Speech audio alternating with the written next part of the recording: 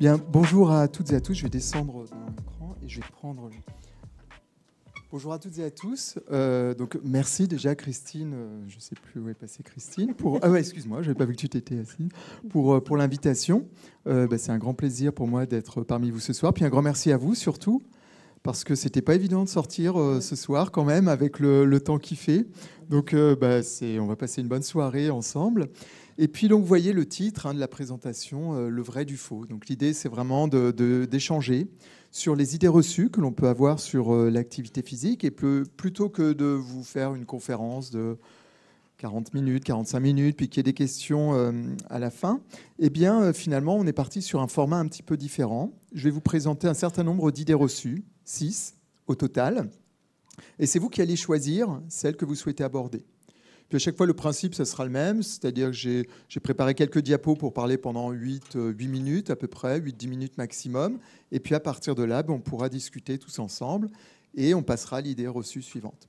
Donc on fera peut-être pas les 6, donc on, on va passer les, les 6 en, en revue, on va voter, puis on va retenir les trois premières et on mettra peut-être une option sur la quatrième, et euh, bon, je ne vais pas non plus vous retenir euh, trop longtemps. Alors au début, j'avais fait un, un, un WooClap. C'est une application qui permet de voter euh, avec le téléphone, mais finalement, là, on n'est pas, on pas si nombreux. Donc, on va voter à main levée, ça sera parfait. Alors, quelles sont les, les idées reçues que je vous propose? Alors là, j'espère que je gêne personne pour voir si peut-être, je vais me mettre sur le côté pour le moment. Alors, voilà, comme je vous disais, je vous en ai mis six.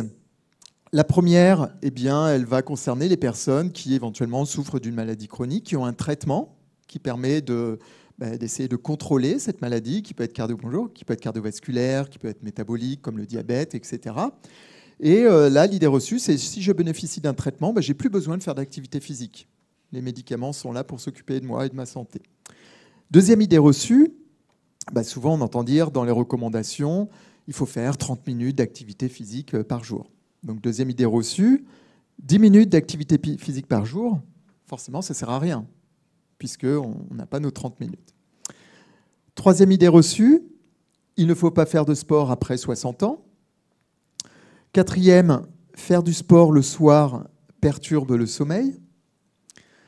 Cinquième idée reçue, eh bien, l'activité physique permet de compenser les conséquences de la sédentarité. Alors peut-être une précision pour vous aider à faire votre choix. Ce qu'est la sédentarité, c'est tout simplement le fait de passer longtemps euh, sans bouger. Donc ça peut être en position assise, ça peut être en position debout. hein. Si moi je suis debout et que je bouge pas, je suis tout aussi sédentaire que euh, vous qui êtes assis et qui ne, ne bougez pas non plus. D'accord? Donc la sédentarité peut avoir des conséquences. Et là, l'idée, c'est de savoir si le fait de bouger, à la fin de la journée, par exemple, ça peut compenser tout le temps que j'ai passé assis pendant la journée. Et puis, euh, dernière idée reçue, pas la moindre, le sport rend intelligent. Donc voilà, vous avez le choix parmi les six. Et puis, bah, je vous propose finalement qu'on la prenne une par une et simplement, vous levez la main, puis approximativement, je vais essayer de repérer donc les trois, les trois principales idées reçues que l'on va aborder, plus la quatrième en option. Alors, qui souhaiterait que l'on parle de la première? Donc, si je bénéficie d'un traitement, je n'ai plus besoin de faire d'activité physique. Bah, comme ça, c'est clair. hein. Une personne. Bon. On en parlera à la pause alors, oh, pas à la pause, mais à la fin, si vous voulez. Euh, deuxième idée reçue 10 minutes d'activité physique par jour, ça ne sert à rien. Ok, donc euh, là, comme ça, je une vingtaine, euh, 20, 20 25 personnes, d'accord? Troisième idée reçue, il ne faut pas faire de sport après 60 ans. Ok, le même, à peu près le même nombre. Faire du sport le soir perturbe le sommeil. Ah, celle-ci, bon, pour le moment, elle fait presque l'unanimité, d'accord L'activité physique permet de compenser euh, bah, le temps passé qu'on- le temps qu'on passe en position assise. Ok, donc on en a trois qui sont à touche-touche. Et le sport intelligent. Bon, donc on a à minima faire du sport euh, le soir euh, perturbe le sommeil. C'est là qu'il y avait le plus de mains levées. Et puis le deuxième, c'était le sport rend intelligent. Le troisième, on en a trois qui sont à peu près ex aequo. Écoutez, quand on aura fait les deux premières, je vous représenterai. Et puis là, on reverra. Peut-être que ça aura, euh, changé un petit peu. Alors, je vais directement aller sur les diapos qui concernent donc le sommeil.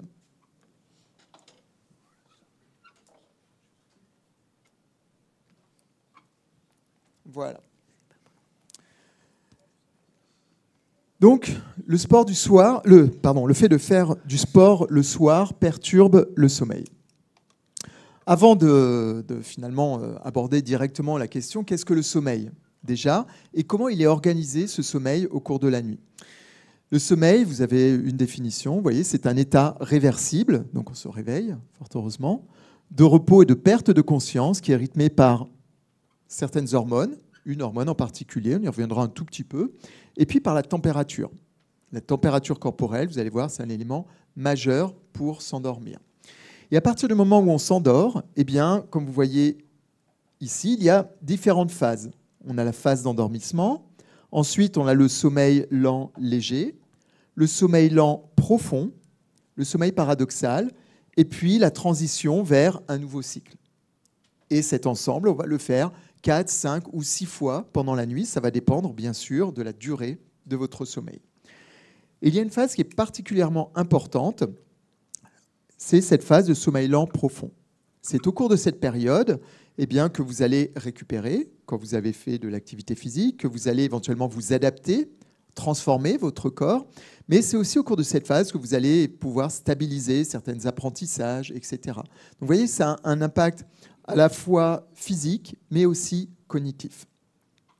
Alors, quelles sont les recommandations Déjà pour euh, le sommeil, euh, bon là c'est petit, je vais vous donner directement les, valeurs, mais vous voyez déjà que ça dépend de l'âge. Hein. Bien sûr, un bébé il va avoir des besoins qui vont être très importants, et puis bah, plus on vieillit, plus les recommandations vont se raccourcir. Et vous voyez que si on prend de jeunes adultes, eh bien on est aux alentours que je retrouve de 7 à 9 heures de sommeil par nuit. Et puis, quand on vieillit, on est toujours, dans le terme de recommandations, aux alentours de 7 heures à 8 heures par nuit. Ça, ce sont les recommandations pour un sommeil optimal. Les valeurs réelles, elles sont quand même bien en dessous. On pourrait y revenir si vous le souhaitez. Donc ça, c'est la quantité. Mais ce qui est important dans le sommeil, c'est bien sûr la quantité. Hein. Il faut une dose, c'est important pour bien récupérer. Mais c'est aussi la qualité du sommeil. Et la qualité, ça va être justement le temps passé dans les différentes phases. Ici, vous avez justement l'organisation du sommeil au cours d'une nuit. N3, ici, c'est la phase de sommeil lent profond. Donc, vous voyez, là, eh bien, on va, s'endormir, le sommeil l'endormissement, le, sommeil léger, le sommeil lent profond. Et puis après, on a le sommeil paradoxal où on fait les rêves. Et ce que vous pouvez voir ici, c'est que le sommeil lent profond, qui est cette phase où on récupère, eh bien, on le retrouve surtout dans la première partie de la nuit. Et vous voyez, la deuxième partie de la nuit, ben, il n'y a plus rien. Et c'est plutôt au cours de cette deuxième partie de la nuit qu'on va faire des rêves et qu'on va avoir plus de sommeil paradoxal. Donc, vous voyez là l'organisation classique. Et on a des recommandations sur les durées à passer dans chaque stade, mais je dirais peu importe. Ce que l'on retient là, c'est qu'il y a la durée qui est importante et puis l'organisation du sommeil. Le sommeil, il a un rôle majeur. Là, je vous ai mis un certain nombre de conséquences hein, auxquelles on peut être confronté lorsqu'on est privé de sommeil ou que l'on a un sommeil de mauvaise qualité. On ne va pas forcément être concerné par l'ensemble. Et des fois, on peut être éventuellement concerné par aucune de ces conséquences possibles. C'est juste une probabilité qui est un peu plus importante. Vous voyez, on retrouve bah, peut-être certaines altérations cognitives. Euh, on a une augmentation du risque de certaines maladies chroniques, on a une augmentation du risque de blessures quand on fait l'activité physique, etc. Donc le fait d'avoir un sommeil trop court ou de mauvaise qualité, ben, ça n'est pas neutre, ça peut avoir un certain nombre de conséquences pour notre santé. Quels sont les ennemis du sommeil et quels sont les éléments finalement qui vont faire que ben, on peut avoir euh, des problématiques, soit pour s'endormir, soit une fois qu'on s'est endormi, pour avoir un sommeil de qualité? On va retrouver les rythmes circadiens, c'est-à-dire qu'on a tous un rythme propre. Il y en a qui sont du matin, il y en a qui sont du soir. Donc ça va forcément avoir un impact. Et ça ne sert à rien de demander à une personne qui est clairement du soir d'essayer de se coucher à 9h ou à 10h. Elle n'arrivera pas à s'endormir avant 1h du matin. Donc la typologie circadienne, c'est un élément important.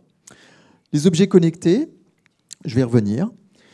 La caféine, donc prendre le café le soir, bah, c'est un des meilleurs moyens finalement pour éviter euh, de, s'endormir. Donc si on conduit, bah, c'est pas gênant, mais si on avait prévu de bien dormir, c'est vrai que c'est pas forcément la meilleure idée de prendre un café avant de se coucher. Il y a l'anxiété, le stress. Je vais revenir aussi avec quelques exemples avec des athlètes de haut niveau. Donc qui peut faire qu'on va ruminer, pendant la nuit. Et sur ces phases de transition, eh bien, éventuellement, on va avoir du mal à se rendormir. Bon, tout le monde a déjà connu ça, donc je ne vais pas passer trop de temps. Et on peut avoir effectivement le sport à une heure tardive. Alors pourquoi le fait de faire du sport tard peut avoir un impact sur le sommeil? Comme je vous l'ai dit au début, il y a deux aspects qui vont rythmer finalement nos rythmes et qui vont faire qu'on va s'endormir. C'est à la fois la température interne et la libération d'une hormone qui s'appelle la mélatonine. Donc il y a ces deux aspects. Et puis de façon générale, bah, il faut avoir eu de l'activité au cours de la journée. C'est ce qu'on appelle la pression de sommeil. Bon là c'est en anglais, mais la pression de sommeil, eh bien, à la fin de la journée, elle va augmenter, c'est-à-dire qu'on a accumulé un certain nombre d'activités cognitives, physiques au cours de la journée, et on a besoin de récupérer. Et quand cette pression de sommeil augmente, eh bien, vous voyez, là, on va avoir une diminution de la température de l'ordre de 1,5 degré, et en même temps, la libération de mélatonine qui va faciliter l'endormissement. Je parlais des écrans tout à l'heure, hein, ça faisait partie des ennemis du soleil. Sur quoi vont jouer les écrans? Ben, Ils ne vont pas jouer sur la température, bien sûr, ils vont jouer plutôt sur la libération de mélatonine. Ils vont jouer aussi sur tout, éventuellement, l'anxiété, le stress. Là, je vous donnerai quelques exemples à l'occasion de, certains athlètes que l'on a suivis qui ont participé aux Jeux Olympiques. Eh bien, ils peuvent avoir des problématiques de sommeil, plus ou moins importantes. Et on pourrait dire, oui, c'est à cause du téléphone, parce que comme tout le monde, hein, c'est une des dernières choses que l'on fait, eh bien, c'est de regarder son téléphone. Donc euh, les athlètes de haut niveau sont comme tout le monde. Mais la différence, c'est qu'ils ne regardent pas forcément les réseaux sociaux, ils regardent leurs réseaux sociaux, avec des fois tout le bien qu'on peut dire sur eux, mais aussi souvent tout le mal qu'on peut dire sur eux. Donc on voit que ces problématiques d'écran, c'est pas seulement l'écran en fait, euh, chez certaines catégories de population, c'est aussi bah, toute l'anxiété que ça peut générer, notamment par euh, bah, les propos qui sont tenus sur les réseaux sociaux. Euh, donc la mélatonine, voilà, est vraiment liée aux écrans bleus. Mais là, on voit bien que le sport, en fait, ça va jouer sur quoi? Ça va jouer sur la température corporelle. Effectivement, si je fais du sport tard le soir, je vais augmenter ma température corporelle et du coup, ben, je ne vais pas être dans les conditions optimales pour m'endormir. Alors, certains médecins du sommeil peuvent recommander, éventuellement, peut-être c'est une recommandation qu'on vous a déjà faite, hein, quand on a des problématiques de sommeil, d'éviter le sport après 16 heures. Donc, bon, effectivement, dans ces cas-là, on n'a pas de problème de température, mais sauf que ce n'est pas toujours évident de faire du sport avant 16 heures. Donc, à choisir, il vaut mieux quand même faire de l'activité physique, quitte à avoir, euh, à certaines occasions, quelques problématiques de température. Hein, à choisir, il vaut mieux toujours cela. Il vaut mieux bouger que de ne pas bouger. Mais néanmoins, faire du sport tard le soir peut avoir un impact sur cette température. Les sportifs de haut niveau, par exemple, qui vont faire des matchs de football, les matchs de rugby, comme on a eu ce week-end, eh bien, ils vont s'endormir peut-être vers 3 heures, 4 heures du matin, puisqu'ils vont cumuler une augmentation de la température, plus un niveau d'activation, d'anxiété toujours présente, qui va être important. Néanmoins, ce n'est pas parce qu'on a une température élevée que forcément on ne peut rien faire. Il y a des solutions pour cela. Quand on était, alors je vais vous les mettre après, mais euh, cet été pour les Jeux Olympiques, donc il faisait chaud. Donc nous, on a suivi l'équipe de France de natation. Et pour justement faciliter cet endormissement, on pouvait utiliser des solutions au niveau du lit. Donc ils avaient des matelas thermorégulants qui permettent d'absorber euh, l'excès de chaleur. Dans votre chambre, vous pouvez adopter une ventilation adéquate également, sans forcément parler de climatisation. Et puis on peut utiliser des stratégies qui ne sont pas accessibles à tout le monde, mais comme par exemple la cryostimulation. C'est une salle qui est à moins 110 degrés, et puis on fait une exposition très courte de 3 minutes juste avant de se coucher. Donc l'équipe de France, euh, lors de leur phase de préparation terminale, ils étaient à Vichy. Eh bien, il y avait euh, juste à côté de l'endroit où ils dormaient, on avait le camion, et avant d'aller se coucher, ils venaient passer leurs 3 minutes. Alors tout le monde n'a pas ça, mais on peut imaginer aussi prendre une douche froide, et puis ça va contribuer à diminuer un petit peu votre température. D'accord? Donc il y a différentes stratégies, même si vous avez une augmentation de la température, qui vont quand même faciliter votre endormissement. Les règles d'or, quand même, si vous voulez euh, faciliter, enfin avoir une bonne qualité de sommeil, eh bien la première, peu importe les variations de température, c'est déjà d'avoir une régularité des horaires de coucher et de lever, qui dépendent de votre profil. Hein. Si vous êtes du matin ou du soir, c'est sûr que ça va être différent. Ensuite, il faut bien garder à l'esprit que oui, la température c'est important, mais le principal régulateur, c'est l'exposition à la lumière. Donc pour s'endormir, eh bien, il faut essayer de diminuer progressivement l'exposition à la lumière. Bleue, bien sûr, avec les écrans, mais de façon générale, la lumière. Il faut un environnement calme, sombre et tempéré. Donc c'est juste du bon sens, vous voyez, hein, ces règles d'or. Il faut une alimentation qui est riche en un acide aminé qui s'appelle le tryptophane. Pourquoi? Parce que c'est un des précurseurs qui va vous permettre de fabriquer la mélatonine. On le retrouve dans les noix, on le retrouve dans beaucoup d'aliments, en fait, le tryptophane. On le retrouve dans la viande blanche, les noix, les bananes. Il y a beaucoup de fruits qui en ont, etc. Donc il y a des aliments quand même qui peuvent favoriser l'endormissement. Si vous voulez une liste, hein, vous allez sur Internet et puis vous tapez sur votre moteur de recherche tryptophane aliments et puis vous allez avoir les, aliments les plus pertinents. La détente cérébrale, on a vu qu'un des ennemis du sommeil, c'était l'anxiété, le stress ou une trop grande activation. Donc, eh bien, on peut faire de la relaxation ou du moins diminuer hein, les activités une heure à peu près avant l'heure prévue de coucher. C'est ce que font certains athlètes également. Donc, il y a toute une routine qui est mise en place pour euh, petit à petit que la pression retombe. L'exposition au froid, alors là, peu importe qu'on ait fait du sport tard ou pas, hein, comme je disais, l'exposition au froid, ça va diminuer votre température, mais on peut détester le froid. Dans ces cas-là, l'exposition au chaud, ça fonctionne également. Sauf qu'on ne le fait pas au même moment. L'exposition au froid, ça doit être vraiment dans l'heure qui précède le coucher. Et là, on va vraiment avoir un impact sur la température interne qui va faciliter l'endormissement. L'exposition au chaud, ben, bien sûr, si vous prenez un bain chaud, vous faites un jacuzzi ou je ne sais pas, eh bien, vous allez augmenter votre température. Donc c'est l'effet inverse. Mais c'est pour ça que là, on va le programmer bien avant, peut-être trois heures avant le coucher. Parce que quand vous avez une augmentation de votre température, que va faire l'organisme? Il va se refroidir. Donc au moment de vous coucher, vous serez vraiment sur une, dynamique de diminution de température qui sera accélérée parce que vous avez augmenté un petit peu cette température avec le bain chaud ou la douche chaude ou le, jacuzzi. Et puis la sieste, c'est-à-dire que des fois on dort mal, c'est sûr, peut-être parce qu'on a fait du sport tard le soir, peut-être pour d'autres raisons, mais c'est pas, il ne faut pas forcément paniquer. Et il faut se dire que les recommandations, en fait, c'est pas seulement la nuit, c'est à l'échelle de 24 heures. Donc, si à un moment on a raté un cycle, on s'est réveillé pendant une heure et demie, deux heures, on n'a pas réussi à se rendormir tout de suite, eh bien, il faut juste savoir que ça peut se normaliser finalement à l'échelle de la journée en faisant une sieste. Alors, il ne faut pas faire de sieste trop longue, parce qu'après, quand on se réveille, vous l'avez déjà testé, hein, c'est désagréable, on a une pression de sommeil, une inertie de sommeil qui est importante. Donc, on va plutôt avoir des siestes de l'ordre de 30 minutes. C'est la durée à peu près optimale qui vous permet de bien récupérer sans après avoir cette inertie de sommeil qui fait qu'on a du mal à émerger. Donc, voilà, si je résume, oui, l'activité physique tard le soir peut avoir un impact, mais à choisir, il vaut mieux faire de l'activité physique de toute façon. Il y a différentes stratégies qui relèvent beaucoup du bon sens pour, malgré tout, conserver une bonne qualité de sommeil. Voilà pour euh, cette première partie. Juste un petit élément euh, avant d'ouvrir la discussion. La température, malgré tout, c'est quand même un élément important on a pu constater chez les nageurs de l'équipe de France, chez les joueurs de rugby euh, du stade Rochelet également, que finalement ceux qui avaient une mauvaise qualité de sommeil, c'est-à-dire de toutes petites phases de sommeil lent profond, eh bien souvent, pas tout le temps, mais souvent, c'était ceux qui avaient une température élevée pendant la nuit. Donc c'est pour ça qu'on voit tout l'intérêt qu'il y a de dormir, ça faisait partie des règles d'or, hein, de dormir dans un environnement qui est euh, tempéré, qui est aéré, parce qu'en diminuant un petit peu la température de l'environnement, vous allez améliorer la qualité de votre sommeil. Donc voilà pour les quelques éléments que je voulais vous donner sur le sommeil. Maintenant, eh bien, écoutez, la discussion est ouverte.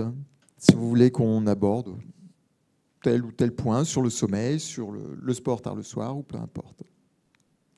Effectivement, on enregistre, donc merci d'attendre le micro. Est-ce que par hasard, c'est fort. Est-ce que vous savez s'il y a des programmes d'activité physique qui permettraient, je dirais, d'améliorer le sommeil, hormis l'aspect de cryostimulation? Alors, Alors, l'activité physique contribue à améliorer le sommeil, puisqu'elle va augmenter cette pression de sommeil qui va faire que l'organisme doit récupérer. Après, est-ce que euh, c'est plutôt des exercices euh, d'intensité modérée, plutôt des exercices à haute intensité qui, vont jouer? Ben, C'est vrai que les exercices à haute intensité, malgré tout, eh bien, on va stimuler beaucoup plus un système qui s'appelle euh, le système nerveux autonome. On va libérer beaucoup d'adrénaline, ce qui fait qu'au moment de se coucher, bon, bah, va falloir attendre un peu plus.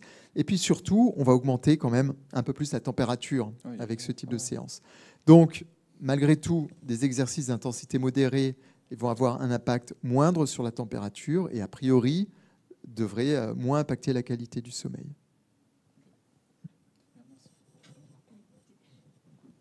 Bonsoir. Vous venez de parler de, sieste, justement.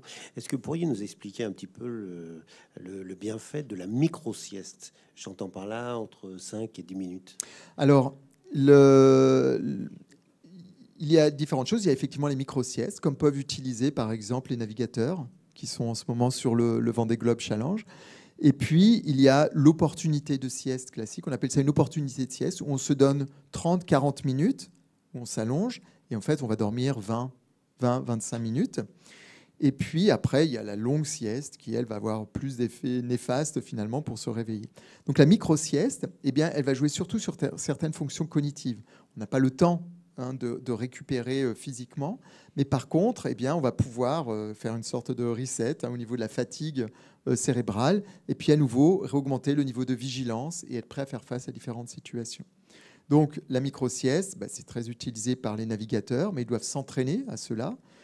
Ça fait partie de leur préparation. Ça peut être utilisé aussi pour ceux qui font des épreuves qui vont durer plusieurs jours.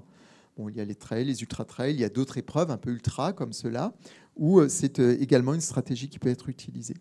Mais de façon générale, la, meilleure sieste, c'est l'opportunité de sieste de 30-40 minutes, parce qu'il y a beaucoup de travaux qui montrent qu'on améliore à la fois on récupère au niveau cognitif.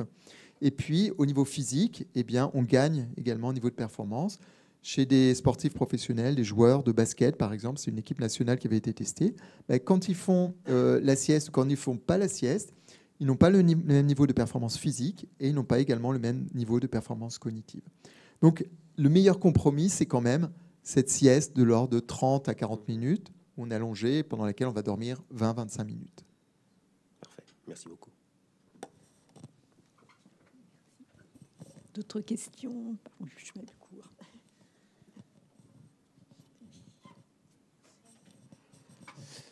Est-ce que vous pourriez nous expliquer les conséquences de l'apnée du sommeil? Alors, là, moi, je peux parler du sommeil. Là, on a une dimension médicale que je maîtrise beaucoup moins.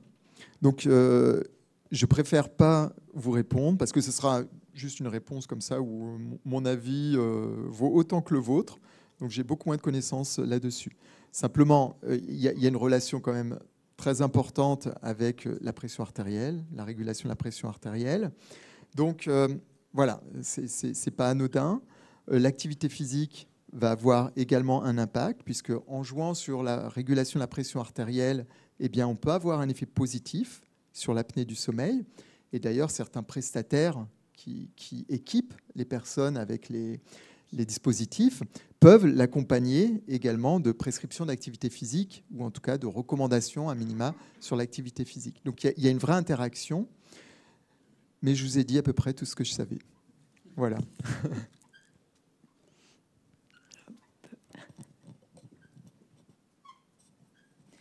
Vous nous avez parlé que le froid faisait euh, baisser la température, donc on dormait mieux. Mais par contre, quand on a trop froid, on ne peut pas non plus dormir. Qu'en pensez-vous? Ah, Tout à fait, tout à fait. C'est pour ça que ces protocoles, ils sont très standardisés. D'accord? On va pas euh, l'exposition au froid quand on fait un bain froid, eh bien, elle est minutée pour pas avoir une dose de froid trop importante, parce que non seulement s'il fait trop froid, certes, ça va euh, gêner la phase d'endormissement, mais en plus, on va déclencher des mécanismes pour se réchauffer, ce qui fait qu'au cours de la première partie de la nuit, en gros la première moitié, où, on a, où il y a le sommeil lent profond et qui est vraiment une phase très importante, eh ben, elle va être perturbée parce qu'on est en train de se réchauffer, donc on va avoir une température qui est plus élevée. Donc effectivement, et c'est pour ça que ces recommandations que l'on fait, elles reposent sur des études où on a pu évaluer l'impact sur la température interne. Ce sont des personnes qui avalent des, gélules qui sont comme ça à peu près et qui, qui restent dans les intestins pendant 24 à 48 heures et qui mesurent la température. Donc, on évalue l'impact de différents types d'exposition. Euh, quand j'ai type d'exposition, c'est la durée. Euh, du, moment de la journée où on le fait, si on le fait le matin, si on le fait en fin de journée, si on le fait juste avant le coucher pour identifier finalement les modalités les plus efficaces. Mais, c'est évident qu'une trop grosse dose de froid va avoir un effet néfaste. Donc il faut bien placer le curseur. Et typiquement, pour aller au bout de la réponse, euh, si on parle de cryostimulation ou de bain froid, parce que les sportifs peuvent utiliser des bains où on va être immergé pendant 5 à 10 minutes dans des eaux à 10 degrés à peu près, eh bien, euh, quand on, fait faire cette exposition après l'entraînement du matin, après l'entraînement de fin de journée et juste avant le coucher, eh bien, on se rend compte qu'il y a juste la condition juste avant le coucher qui est efficace. Parce que les autres, en fait, oui, on a une diminution, mais comme c'est trop éloigné, ben, on va revenir tranquillement vers le niveau initial. De la même façon qu'on a pu constater qu'une exposition, ça ne sert à rien. Il en faut au moins cinq pour commencer à avoir un impact sur la qualité et la quantité de sommeil, cinq jours consécutifs. Donc voilà, ce sont des, toutes ces recommandations que l'on fait, ben, on, s'appuie sur des études où on va évaluer tout cela pour être sûr d'avoir la bonne dose et de faire les bonnes recommandations, parce que sinon on peut avoir l'effet inverse. Ouais, une autre question. Euh, quelles sont les conséquences au niveau cérébral euh, quand on interrompt un cycle de sommeil, et notamment le matin Alors là, je dois avouer que je ne sais pas. Les conséquences sur, euh, alors déjà sur la récupération, c'est pas la question, mais bon, sur la récupération physique, il y aura peu d'impact puisque tout se joue avant. Quand on parle au niveau cognitif, il y a deux choses. Il y a, quand on parle des aspects cognitifs, il y a la mémoire, la stabilisation des apprentissages, etc. Ça se joue également avant. Après, euh, bon, euh, sur les autres aspects, euh, j'avoue que je ne sais pas trop. Peut-être qu'on se réveille de mauvaise humeur, mais et qu'on va avoir une inertie de sommeil importante. On a du mal à émerger, mais je ne pense pas que ça ait de conséquences très importante sur les aspects physiques et puis les, fonctions cognitives. Je ne pense pas. Oui, euh, bonsoir. Oui. Euh, j'ose la question tabou. Euh, quel, y a-t-il un lien entre activité sexuelle et qualité du sommeil, notamment chez les sportifs de haut niveau? Eh ben, ça, ça revient à ce que j'ai dit avant. Il y a des problématiques de température. Donc la température peut plus ou moins augmenter et si elle augmente de trop, eh bien, ça peut être effectivement quelque chose qui va gêner la phase d'endormissement. D'accord? Parce qu'il faut toujours cette diminution de température de l'ordre de 1 demi-degré. Et puis après, il y a le niveau d'activation. Hein, c'est-à-dire qu'on va stimuler le système nerveux autonome, euh, notamment avec l'adrénaline, la noradrénaline, qui sont des hormones qui ne euh, ben, vont pas forcément faciliter l'endormissement. Donc il y a un niveau d'activation qui peut être plus ou moins élevé. Euh, euh, une, augmentation de la température interne qui peut être plus ou moins élevée. Donc en gros, on peut aller de aucune conséquence à, euh, des conséquences qui peuvent être un peu plus importantes. Ah. par rapport au titre, alors d'abord, merci beaucoup pour la conférence, très intéressante. par rapport au titre, est-ce qu'on peut associer à activité physique tout ce qui est bricolage, jardinage, ménage euh, et à santé, est-ce qu'on se limite à la dimension physique, physiologique de la santé, ou est-ce qu'on peut aller au-delà, euh, l'estime de soi, euh, etc. Alors, c'est sûr que là, pour cette idée reçue, j'avais mis le sport. Bon, voilà. Le sport, faire du sport tard le soir perturbe le sommeil. Donc là, c'était vraiment ciblé parce que les autres activités physiques vont pas avoir, être associées à un niveau de dépense énergétique suffisant pour augmenter la température et avoir un effet néfaste. Maintenant, sur les autres idées reçues, on va aller effectivement au-delà, hein, c'est-à-dire au-delà du sport. On va vraiment parler d'activité physique au sens très large. Le sport en fait partie, mais il y a des activités physiques liées au déplacement, aux mobilités douces, liées aux activités professionnelles, etc. Donc on, englobera vraiment l'ensemble. Et puis c'est vrai que la santé, là on, on parle beaucoup d'aspects physiques, mais euh, il faut qu'on y associe systématiquement les aspects sociaux et puis euh, psychologiques également, pour avoir cette, vision un peu plus holistique de la santé. Donc c'est ce qu'on fera éventuellement sur d'autres euh, sur d'autres questions. Mais là, c'est vrai que c'est très ciblé sport ou du moins activité physique intense. Une autre question. Oui, une dernière question par rapport à quelqu'un qui aurait le sommeil vraiment très perturbé. Euh, Qu'en est-il aujourd'hui de l'utilisation de routines comme la cohérence cardiaque en pleine nuit exemple, Alors, en pleine euh, nuit, euh, là, comme ça, euh, je, je n'ai pas souvenir d'études, mais de façon générale, la cohérence cardiaque et puis tout ce travail sur la respiration, ça peut avoir un impact important, puisque ça va stimuler beaucoup une des branches de ce système nerveux autonome qui s'appelle la branche parasympathique, donc qui va contribuer à être relaxé et puis à s'endormir. Mais en fait, tout va dépendre de l'origine hein, du, réveil. Euh, donc, si c'est de la rumination liée au stress, à l'anxiété, euh, parce que, euh, je ne sais pas, il y, a- une compétition qui arrive, bon, ben là, des activités de relaxation peuvent aider éventuellement, mais il peut y avoir d'autres origines. Donc, voilà, ça dépend vraiment de ce qui explique le fait qu'on se réveille pendant la nuit et qu'on a du mal à se rendormir. Ce que je vous propose, c'est peut-être de passer à la question suivante. Donc de mémoire, c'était le sport rend intelligent.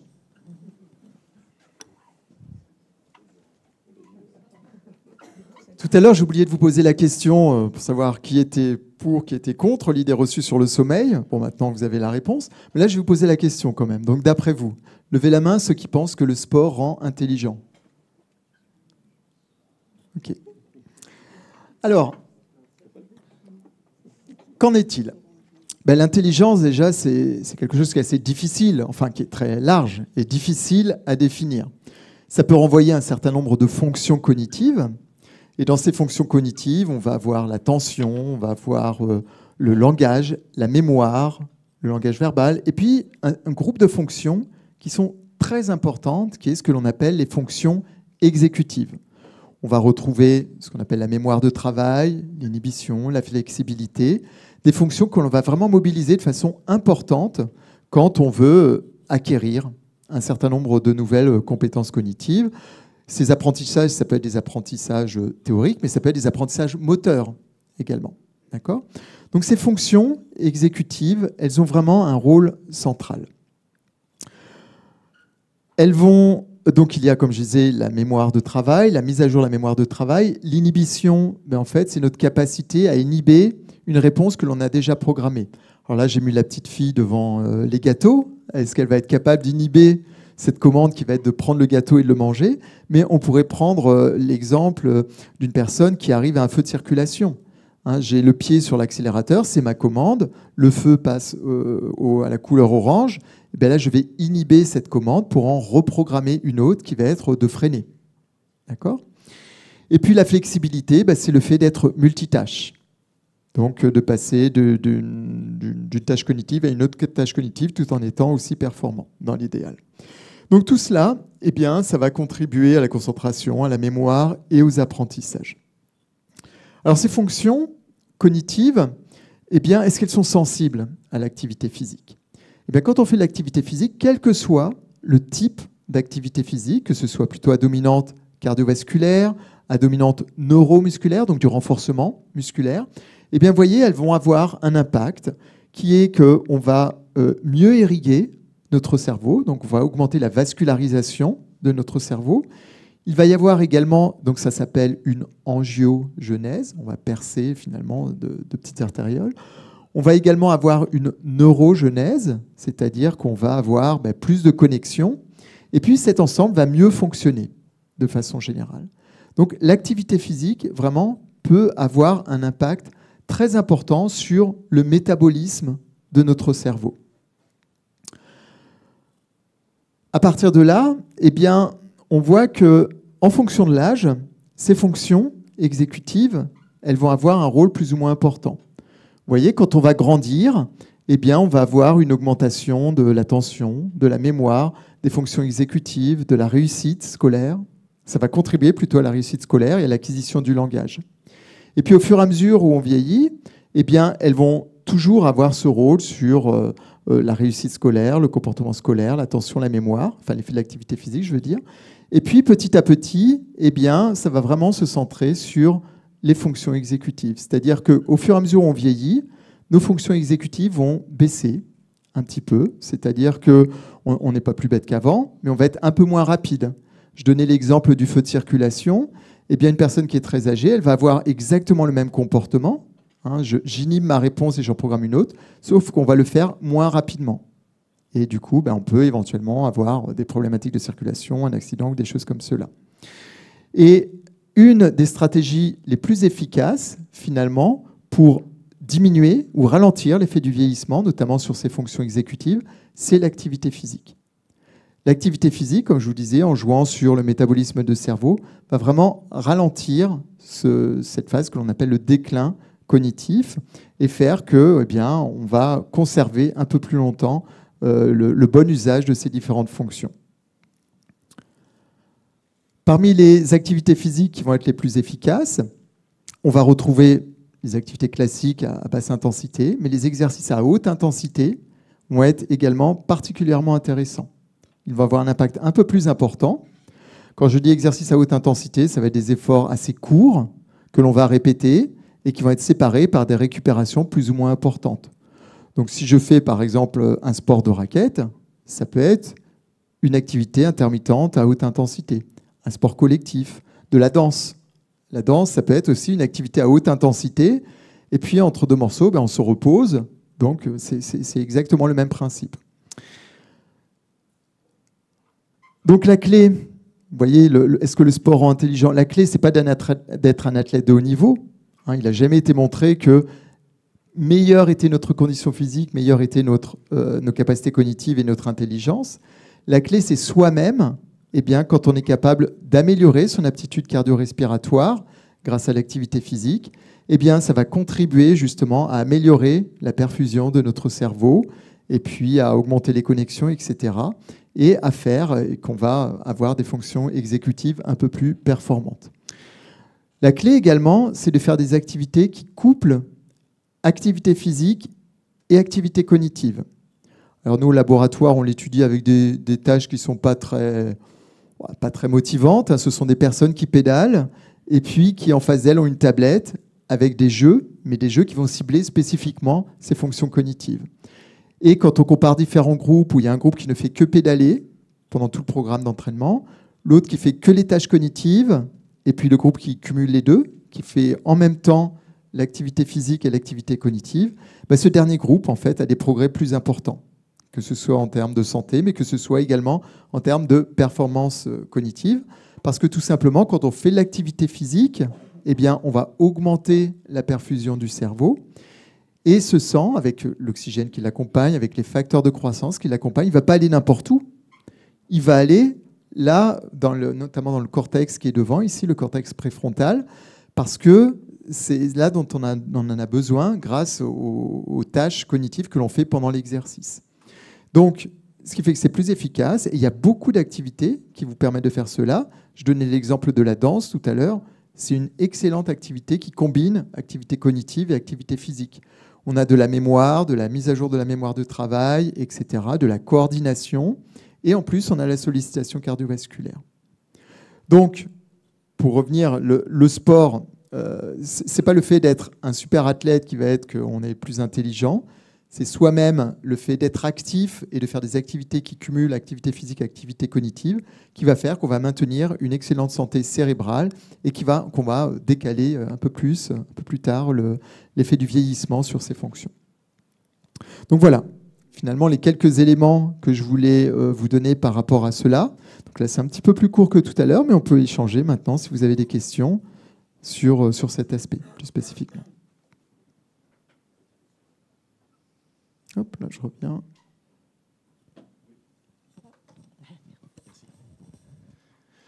Je vais lancer le débat. Euh, tu évoquais donc euh, le, travail euh, simultané de, de l'activité physique et de l'activité cognitive. Est-ce qu'on peut imaginer des effets identiques si l'activité n'est pas simultanée? Par exemple, je, pars en footing et l'après-midi, j'ai une activité euh, cognitive. Est-ce qu'on peut imaginer avoir les mêmes effets? Merci. Alors, euh, tout à fait. Donc là, il y a une histoire de séquence, hein, c'est-à-dire qu'il y y, a des activités, on fait les deux en même temps, et on peut effectivement les faire de façon séparée. Il peut y avoir un effet additif, mais quand les deux sont enchaînés. Le fait d'avoir fait éventuellement un footing le matin va pas forcément avoir un gros impact sur les activités cognitives de l'après-midi. Par contre, le fait de faire euh, une activité physique et puis donc qui va avoir un impact sur l'oxygénation du cerveau, etc. Et puis en profiter pour après faire des activités cognitives. Là, il est fort probable qu'on va avoir une amélioration de ses performances. J'ai fort probable, pour le moment on ne le sait pas, ce sont des choses qu'on étudie actuellement au labo, où on va utiliser différents types d'activités. Ça peut être des activités physiques comme on l'entend habituellement, mais ça peut être aussi euh, le fait d'utiliser, vous savez, des, euh, des, poignets hein, qu'on serre plus ou moins fort. Et on a pu constater, par exemple, que quand on, fait, on serre la poignée assez forte pendant deux minutes, et qu'on prend trois minutes de récupération pendant lesquelles on ne fait rien, et qu'on fait ça juste quatre fois, et eh bien à l'issue de la quatrième fois, on a une augmentation, on a une diminution de pression artérielle qui va faciliter la, perfusion du cerveau, et on a une capacité d'activation de notre cerveau qui est beaucoup plus importante. Et on le voit également après sur la performance cognitive. Donc c'est plutôt, si on ne fait pas les deux en même temps, c'est plutôt quand même au sein de la même séance, je dirais, où là, et on commence par l'activité physique, et on bénéficie de son impact sur euh, l'oxygénation et la perfusion cérébrale.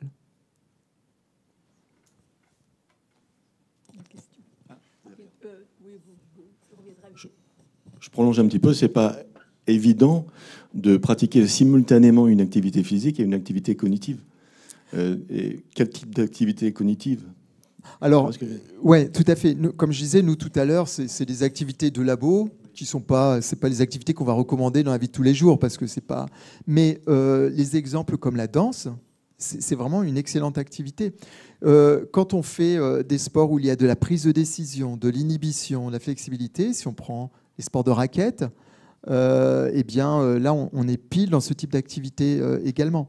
Les sports où il peut y avoir des chorégraphies, on est dans ce type d'activité. Donc, euh, et euh, je ne sais plus comment ça s'appelle, mais tu dois le savoir.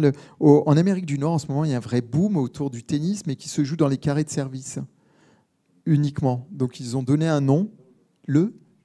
C'est ça, exactement, le, le ball, ball ou en tout cas. Donc, euh, bon, ben voilà, c'est-à-dire que ce sont vraiment des personnes très âgées, certaines pour avoir 80 ans ou plus, qui jouent au tennis, mais sur une surface qui est assez petite. Donc il y, a un vrai engouement et là, on est pile dans ce type d'activité. Donc on peut trouver quand même beaucoup d'activités qui répondent à cela. Exactement. Oui, ouais, tout à fait.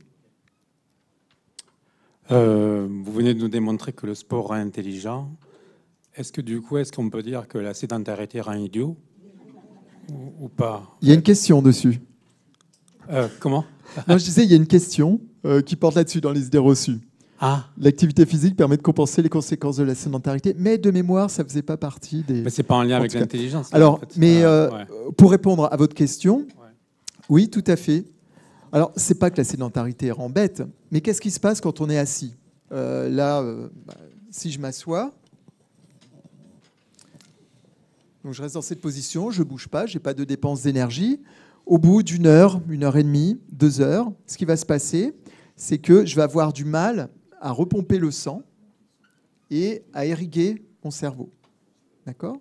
Je vais avoir une augmentation de ma pression artérielle et une diminution de ma perfusion cérébrale. Et donc, mon cerveau, lui, il a besoin d'oxygène, il a besoin de glucose pour fonctionner et on lui, en, on lui en amène moins. Donc là, je vais avoir une diminution de mon efficacité. C'est évident.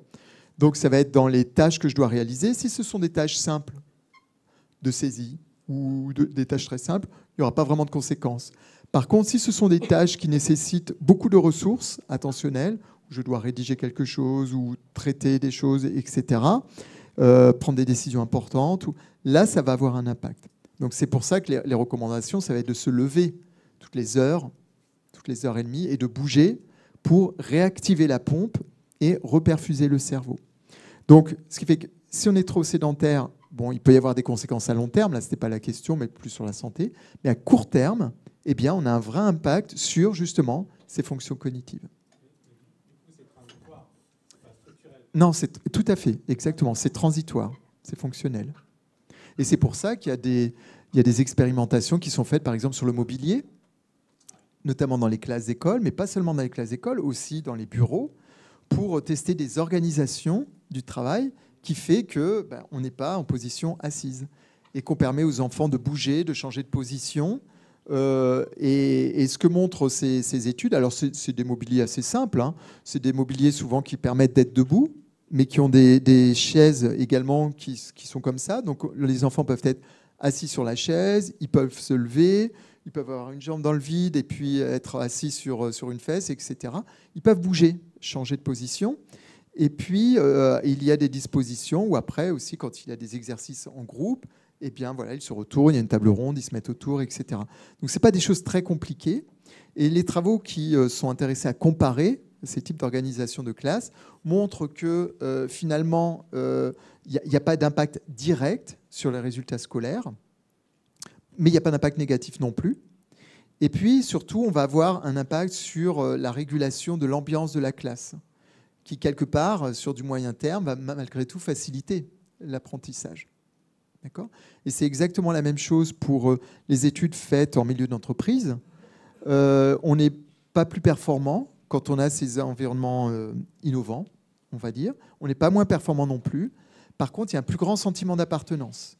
C'est-à-dire que bah, les personnes voilà, qui peuvent bénéficier de ce type d'environnement vont, euh, vont être euh, plus motivées, euh, plus reconnaissantes, donc vont peut-être plus donner, plus reconnaissantes, peut-être plus donner. Donc il y, y, a vraiment un impact sur le sentiment d'appartenance. Est-ce que regarder la télévision en faisant du vélo d'appartement, ça correspond à la double stimulation à la fois physique et cognitive? Non. À moins que... Non, ça dépend. En, fait, si on est passif, si on est passif et qu'on regarde euh, un film, non, là c'est absolument pas une activité cognitive. Par contre, eh ben, des chiffres et des lettres, oui, pourquoi pas. Hein, euh, tout dépend de ce qu'il y a à l'écran. Mais l'important, c'est d'avoir des situations où on va stimuler ces fonctions exécutives.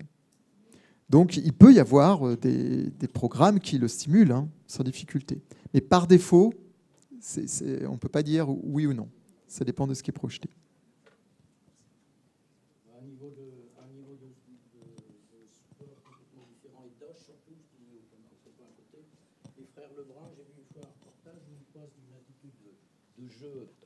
c'est des sports intensifs où ils arrêtent de jouer et ils vont sur une. Euh, leur reportage, c'était qu'ils allaient jouer aux échecs.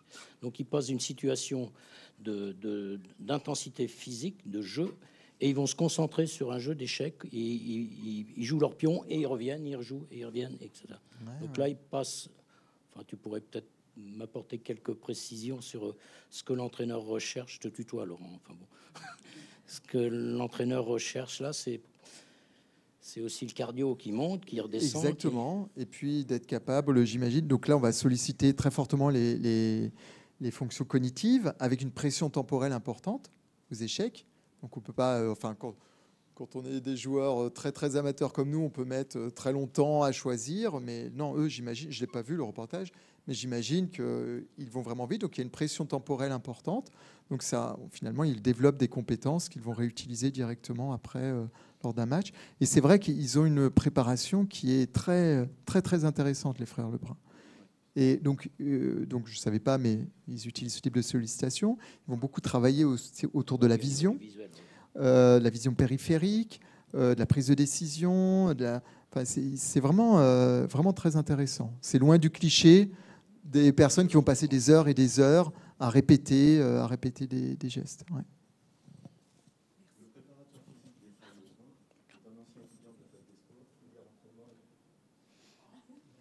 Dont Serge était le responsable. Alors, il faut prendre le micro, ah, bah donc les gens au fond n'ont pas entendu. Si vous voulez bien répéter ce que vous avez entendu.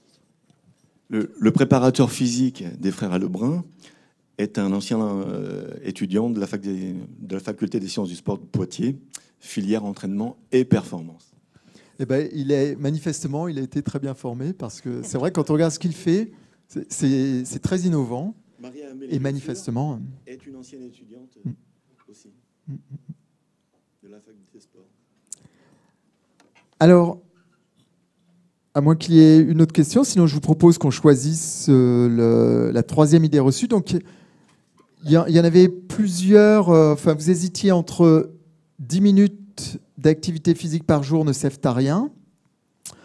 Euh, il ne faut pas faire de sport après 60 ans Et puis la cinquième, l'activité physique permet de compenser les conséquences de la sédentarité. On en a plus ou moins parlé. Donc quelle est celle que vous choisiriez entre 10 minutes d'activité physique par jour ne servent à rien et il ne faut pas faire de sport après 60 ans Donc qui vote pour la 2 Ok. Et qui vote pour la 3 Bon, on va faire la 2 et puis euh, éventuellement, si vous le souhaitez, euh, on pourra quand même parler euh, rapidement de la troisième. Donc là, c'est donc 10 minutes.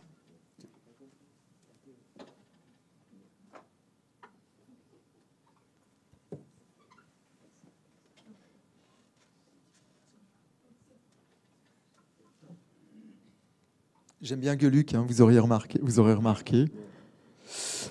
Alors, 10 minutes d'activité physique par jour ne servent à rien. Qui est d'accord? Qui est d'accord, c'est-à-dire que bon, la recommandation c'est 30 minutes, donc il faut au moins 30 minutes pour euh, retirer des bénéfices en termes de santé. Je, vais reformuler ma question parce que là, j'ai l'impression qu'elle n'est pas claire. Est-ce que vous êtes d'accord quand on dit que 10 minutes d'activité physique par jour ne servent à rien? Donc levez la main ceux qui pensent que oui. Ok, d'accord. Donc pour vous, c'est une idée reçue et ça peut être utile. Alors on va voir. Donc là, on va parler plutôt d'activité physique à visée thérapeutique, c'est-à-dire on considère l'activité physique au sens large, hein, pas seulement les activités à haute intensité ou le sport, ça peut être nos activités de déplacement également. Donc on considère l'activité physique là comme un traitement. Et ce traitement, eh il y a un grand nombre d'études qui ont été publiées au cours des dernières décennies et qui ont permis, un peu comme les médicaments, ben, de définir les posologies les plus efficaces. Et actuellement, la recommandation, eh bien, c'est d'utiliser des exercices d'intensité modérée à vigoureuse. La marche, la marche active, c'est un exemple d'activité euh, euh, d'intensité modérée à vigoureuse, mais il y en a beaucoup d'autres, bien sûr. Et on recommande de le faire 30 minutes par jour, au moins 5 fois par semaine. Et ça, c'est la posologie la plus basse. C'est le minimum qu'il faut faire pour espérer avoir des bénéfices. Si on fait plus, c'est mieux. Et ça, on l'entend, le message, hein, vous avez dû l'entendre de multiples fois, hein, les 30 minutes d'activité physique par jour. Donc à partir de là, eh bien, on pourrait se dire, effectivement, si j'ai pas cette dose de 30 minutes, euh, je ne pourrais pas retirer de bénéfices. Alors, quand on fait l'activité physique, il y a différents types d'exercices. Il y a des exercices que l'on appelle les exercices continus, comme la marche, comme le footing, comme une sortie à vélo, etc. Donc ils sont continus, c'est toujours à peu près la même intensité, et ils sont euh, d'intensité modérée. Il a été montré que ce type d'exercice, bah, c'était très efficace pour améliorer l'aptitude cardio-respiratoire, qui était quelque chose de très important. C'est en gros votre potentiel santé, hein, votre aptitude cardio-respiratoire. Alors, j'ai mis que ça dépendait du niveau initial, parce que c'est sûr que si vous êtes peu actif, le fait de faire ce type d'exercice, vous allez tout améliorer, vous allez beaucoup progresser. Si par contre vous êtes déjà assez entraîné ou très entraîné, ça reste toujours très intéressant. Ça représente peut-être 80% de l'entraînement des athlètes de haut niveau, mais l'impact sur euh, l'aptitude cardio-respiratoire va être assez faible.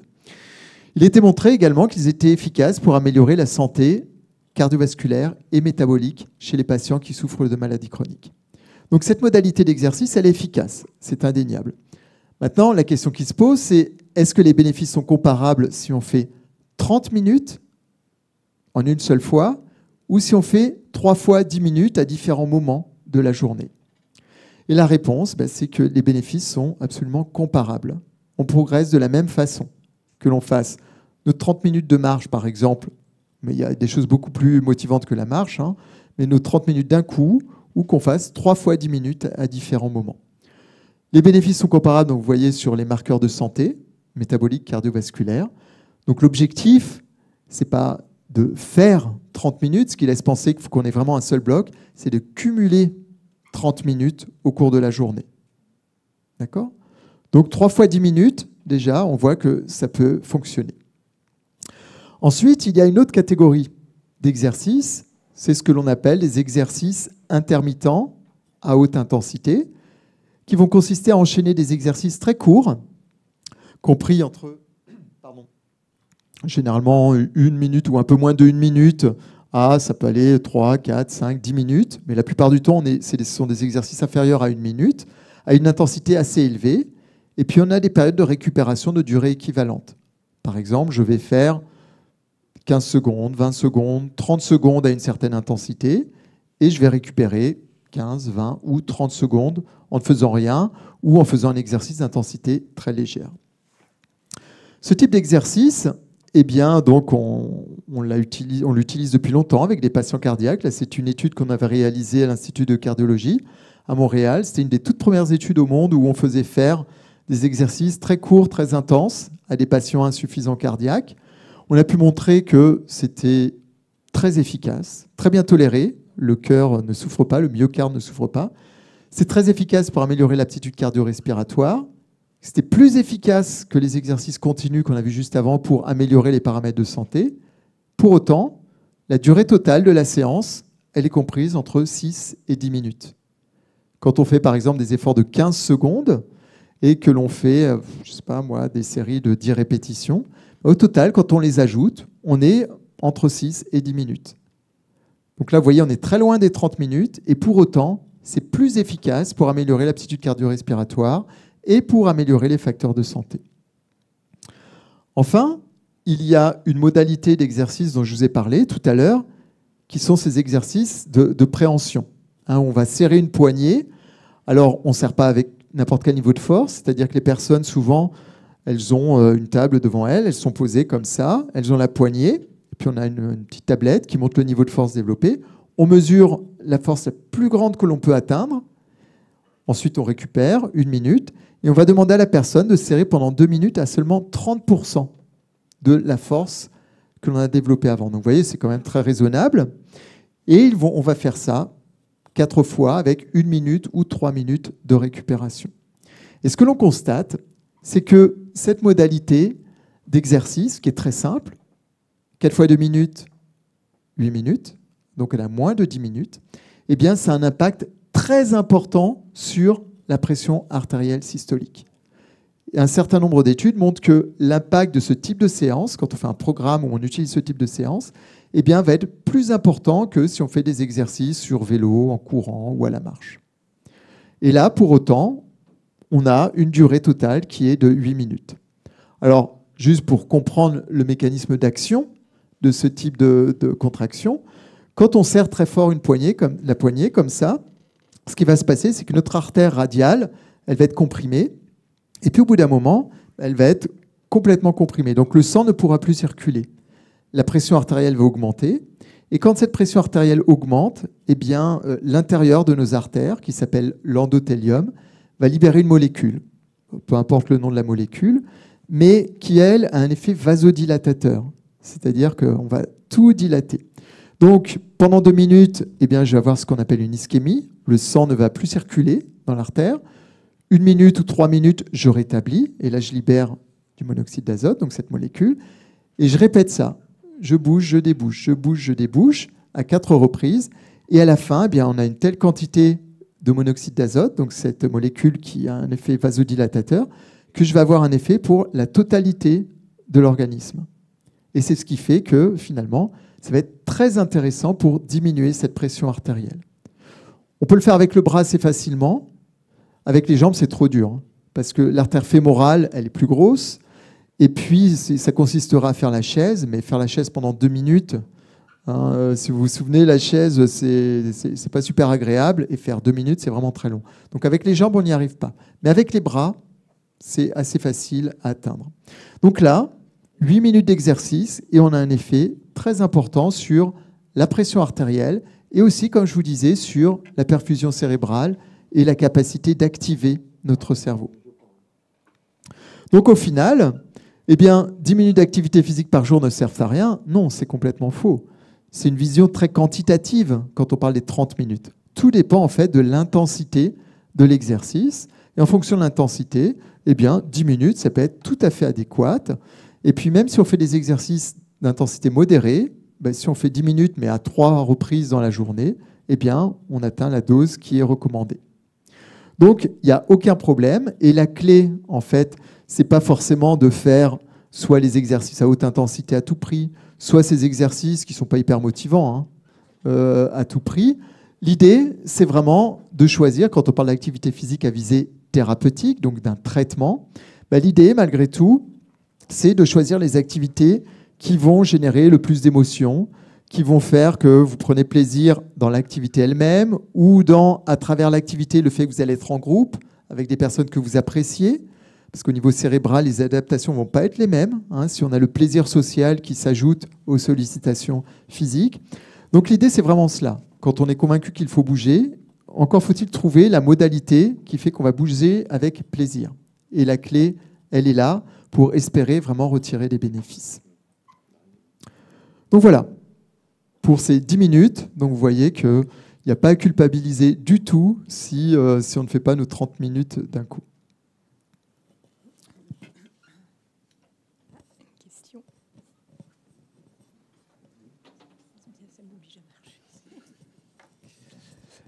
Euh, passé 60 ans, quand on fait de la, course, du jogging, est-ce qu'il est, préférable de continuer à faire du fractionné ou est-ce qu'il vaut mieux faire de l'endurance?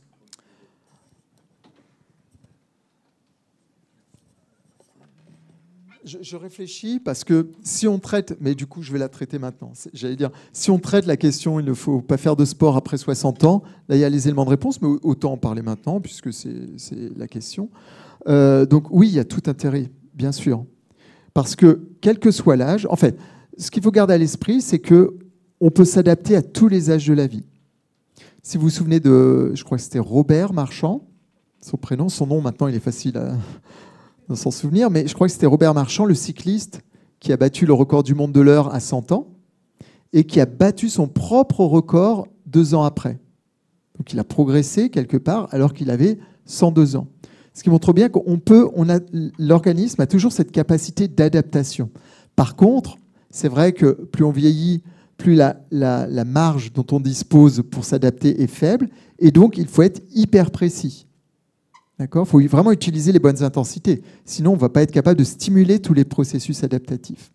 Donc, euh, c'est sûr que si. Euh, alors, je vais revenir aux exercices à haute intensité ou intermittents, mais quand on parle de renforcement musculaire, c'est vrai que souvent c'est assez caricatural quand on voit des exercices qui sont proposés aux personnes âgées, qui consistent à se lever ou à faire des, choses à basse intensité en disant bah, attention, allez pas vous faire mal.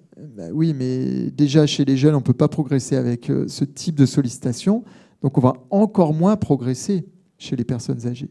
Donc euh, nous, l'approche que l'on a, c'est qu'on considère vraiment les personnes âgées comme des athlètes de haut niveau, donc on a des évaluations précises et puis on va chercher vraiment les intensités les plus adéquates. Donc quand on fait du renforcement musculaire, eh bien, les athlètes vont, ou les sportifs de façon générale vont utiliser des intensités qui parfois sont proches du maximum, qui peuvent être à 90%, 85%, 95%, etc. On fait exactement la même chose. La différence, c'est que là où un athlète ou une athlète va utiliser des barres et des poids, eh bien, chez une personne âgée, ça pourrait être un élastique, simplement. Donc en valeur absolue, bien sûr, ça peut être différent, mais en valeur relative, eh l'idée, c'est vraiment de solliciter à des pourcentages qui sont les pourcentages auxquels on s'améliore. Et ce que montre très bien la recherche, c'est que le, niveau de preuve actuellement de l'effet du renforcement musculaire, par exemple, sur la force et la masse musculaire des personnes âgées, eh bien, il est, élevé, mais c'est encore assez hétérogène.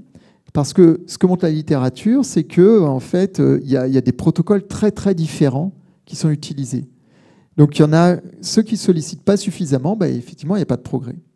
D'accord? Donc c'est vraiment ce qui ressort, c'est que quand on, regarde les études qui spécifiquement ont des exercices à haute intensité en renforcement musculaire ou au niveau cardiovasculaire, eh bien systématiquement il y a des progrès.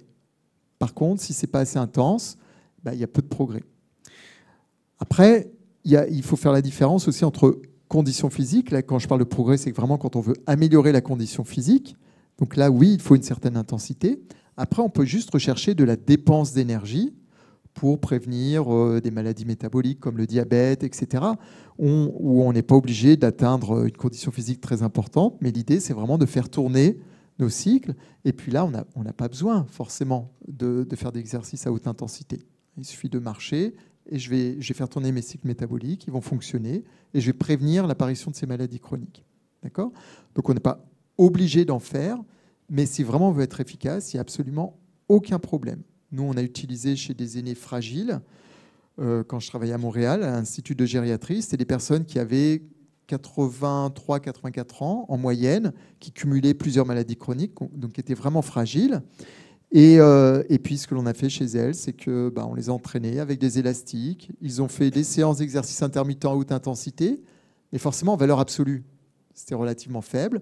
Et puis après, on a évalué l'impact que ça avait sur leur bien-être social, sur euh, leur fonction cognitive, sur les différentes fonctions physiques. Et c'était très efficace, sans aucune difficulté. Et c'était beaucoup plus motivant pour elles. C'était beaucoup plus motivant. Par contre, on, fait pas, si on n'en faisait pas avant, euh, il ne faut pas passer comme ça de ne jamais en avoir fait du jour au lendemain à en faire tout de suite. Outre la possibilité de se blesser au niveau des jambes, par exemple, ou musculairement, euh, le cœur, il faut lui laisser le temps de s'adapter. Il faut lui laisser le temps de s'adapter. Donc il y a toute une progression, et ces progressions, ben, elles doivent être, ces, phases de transition, d'adaptation, eh ben, elles, sont, elles doivent être d'autant plus importantes qu'on avance en âge. Donc, euh, c'est le plus efficace. Dans l'idéal, il faut en faire. Mais avant d'en faire, il faut passer quand même par différentes étapes pour que tout se passe bien et surtout que ça motive la personne. Généralement, là, il n'y a pas trop de problèmes. Bonsoir. Est-ce que le séquençage des 30 minutes par jour est impératif ou est-ce qu'on peut éventuellement euh, en faire un peu plus un jour et un peu moins un autre? En particulier, si on a fait beaucoup un jour, est-ce qu'il n'est pas nécessaire de, justement d'avoir un, jour de repos à côté? Enfin, voilà, tout, tout, à fait. Tout à fait. La recommandation en termes de dépenses énergétiques, c'est une valeur pour la semaine. Donc après, euh, il y a différentes stratégies il y a ce qu'on appelle les, alors c'est dans la littérature anglophone, mais ça s'appelle les weekend warriors. Donc on imagine bien, hein, c'est des personnes qui ne font absolument rien de la semaine, euh, et puis qui le week-end vont le samedi vont se faire une grosse grosse sortie à vélo, enfin vont, cumuler comme ça les sollicitations. Mais la semaine ils ne font rien. Euh, donc euh, bon là il était montré que ce n'était pas forcément la meilleure option, et les recommandations disent qu'il faut éviter de rester plus de deux jours consécutifs. Donc deux jours consécutifs sans rien faire, ça va, mais pas plus de deux jours consécutifs. Donc on a une dose de dépenses d'énergie dans la semaine à accumuler, qui correspond en gros aux fameux 30 minutes par jour. Mais après, on, l'organise comme on veut. On peut effectivement des fois avoir un peu plus, et du coup on va prendre par exemple deux jours sans faire d'activité physique. Voilà, donc on peut l'aménager comme on veut. C'est vraiment à l'échelle de la semaine.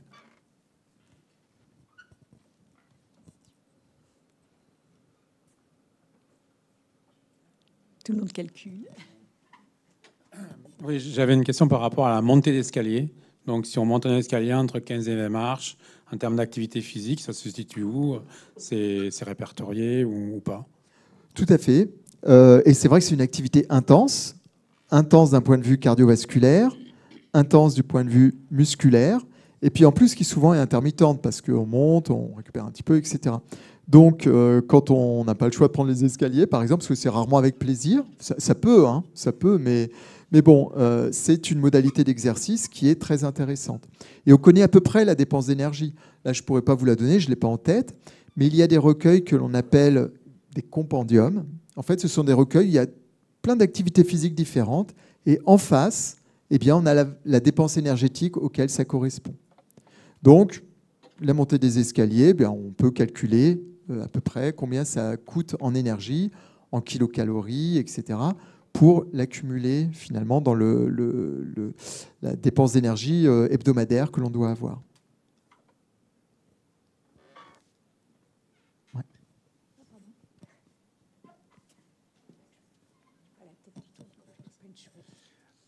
Euh, ma question, c'était à la fois en lien avec le sujet numéro 3 et le sujet numéro 6. Euh, c'est la place de nouvelles sollicitations ou de bah, typiquement les jeux vidéo, euh, à la fois chez les personnes âgées ou même euh, sur le développement hmm. cognitif. Est-ce que c'est des choses qui sont étudiées? Oui, tout à fait. L'e-sport, l'e-sport ou les jeux vidéo de façon générale, l'e-sport étant la version compétitive des jeux vidéo. Donc ce sont des choses que l'on étudie au laboratoire. Et puis à Poitiers, on a la chance d'avoir des acteurs vraiment très impliqués là-dedans, notamment une association qui s'appelle Silver Geek, qui organise euh, des compétitions nationales de, de, jeux vidéo. Donc c'est de l'e-sport pour les personnes âgées, dans les EHPAD notamment. Donc on a un certain nombre de travaux de recherche qui s'intéressent à cela. L'e-sport, euh, eh bien, ça peut être une forme d'activité où on combine activité physique, activité cognitive. Alors là, on va parler d'exergaming. Donc, ce sont les jeux où on bouge finalement. Euh, bon, l'exemple classique, même si c'est très très euh, réducteur, c'est Wii Bowling. Mais il y a bien d'autres jeux où on peut bouger en sollicitant les, les fonctions cognitives. Donc, c'est une modalité qui est très intéressante, déjà d'un point de vue physique et cognitif, d'un point de vue social, euh, parce que souvent ces activités, eh elles permettent, par exemple, Silver Geek, leur modèle, c'est qu'ils recrutent des services civiques, donc des jeunes, qui vont former des personnes âgées dans les EHPAD à des compétitions d'e-sport. Donc ça crée du lien intergénérationnel, ils sont ensemble et ils adorent ça. Euh, au CHU, à un moment, on a mis en place une étude où on avait demandé aux participants, qui étaient des résidents euh, euh, c'est Lusignan, je crois, que se situe l'EHPAD du CHU. En tous les cas, euh, c'était des résidents d'un EHPAD. Et puis, on, leur demandait de participer à différentes modalités. Soit ils jouaient aux jeux vidéo seuls dans leur chambre, soit ils allaient dans l'espace de vie et ils étaient quatre, parce qu'on ne pouvait pas euh, avoir plus de personnes. Et puis, soit ils allaient dans l'espace de vie, ils étaient quatre et c'était en mode compétitif. alors qu'avant, ils jouaient simplement sans se comparer. Eh bien, ils ont tous préféré de très loin le mode compétitif. Et quand euh, l'étudiant, le stagiaire qui était euh, repartait, ben, il n'avait qu'une hâte, c'était qu'il revienne pour euh, recommencer. Et puis c'était assez drôle. Donc c'est lui qui était, moi j'étais pas, mais il nous rapportait. il se chambre comme dans comme en, comme en sport co, comme, dans, comme en sport de façon générale, et ils adoraient ça. On a une collègue psychologue à l'université qui évalue justement l'impact hein, de, de ces compétitions de jeux vidéo chez eux. Est-ce que la victoire, la défaite, euh, ça peut avoir un impact parce qu'on ne veut pas non plus euh, créer des situations qui peuvent être problématiques? Pas du tout. Il n'y a absolument aucun problème du point de vue psychologique. Donc c'est une modalité qui est vraiment très intéressante, qui est innovante, qui contribue à diminuer la fracture numérique, euh, par exemple, et, et, puis qui contribue à créer du lien intergénérationnel, et qui, pour les personnes âgées, a à la fois un impact physique et cognitif. Donc il y a tout à gagner. J'en profite pour rajouter justement que toutes ces études, c'est il y a une journée samedi prochain de 9h à 18h ici à l'Espace Mondesson sur vieillir en jouant et qui présente justement les avantages de l'e-sport, donc avec Marion Haza et, tout plein de, gens de Poitiers. Mm, Marion Haza est la collègue justement avec Catherine Esnard qui s'intéresse à cette dimension psychologique et à l'impact que peut avoir la victoire, la défaite, en e-sport chez les personnes âgées. Mm. Donc je sais que le matin, il y a, le programme est sur le site de Mendes France, donc il y a différentes tables rondes, vous pourrez consulter donc les intervenants. Et après l'après-midi, c'est démonstration donc avec Silver Geek, effectivement, où on vous tester les jeux. Voilà. Je vous invite à revenir.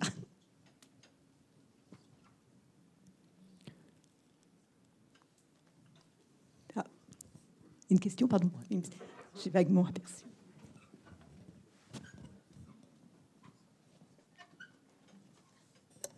Oui, c'est pas véritablement une question, c'est parce qu'on est tous convaincus, je pense, que l'activité physique aujourd'hui est indispensable euh, à des fins de santé. Euh, tout à l'heure, on a vu une diapo, il y a marqué sport, médicaments, mais on a euh, les pires difficultés aujourd'hui à avoir des prescriptions, effectivement, de par les médecins pour avoir une activité régulière, que ce soit trois fois 10 minutes, que ce soit 30 minutes.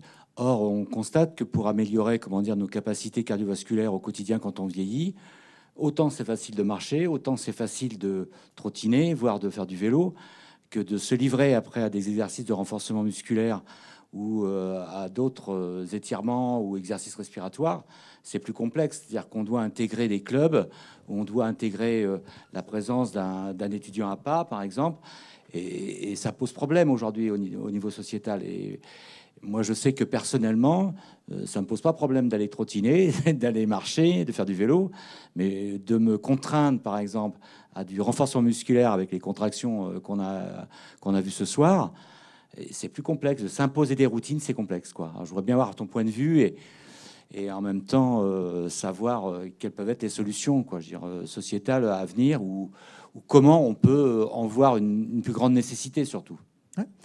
Alors, Par rapport à la prescription, c'est vrai que c'est- un enjeu. Dans le département de la Vienne, il y a une association qui s'appelle Sport Santé 86 qui est en charge de la mise en œuvre du sport sur ordonnance. C'est un programme qui s'appelle PEPS, prescription d'exercice pour la santé, qui est cofinancé par différents acteurs, mais notamment l'Agence régionale de santé et la région euh, Nouvelle-Aquitaine. Et pour vous donner un ordre de grandeur, alors j'ai plus les chiffres exacts, mais il y a à peu près 500 prescriptions par an. Euh, donc ce qui, est, ce quand même euh, pas mal. Et euh, donc c'est une, association qui, se développe beaucoup. Mais quand on regarde, donc 500, on se dit c'est pas mal, mais quand on regarde le nombre de médecins prescripteurs, en fait, la grande majorité des médecins prescripteurs ne prescrivent qu'une fois. C'est-à-dire qu'en en fait, c'est la personne qui est venue les voir, qui voulait participer parce qu'elle connaissait le dispositif. Le médecin a prescrit, mais il n'a pas represcrit une seconde fois derrière. Et puis on a une petite minorité de médecins qui sont, euh, bah, qui sont super, qui l'ont vraiment intégré en prévention primaire, en prévention secondaire, et qui, eux, n'arrêtent pas de prescrire, mais qui, sont très peu nombreux.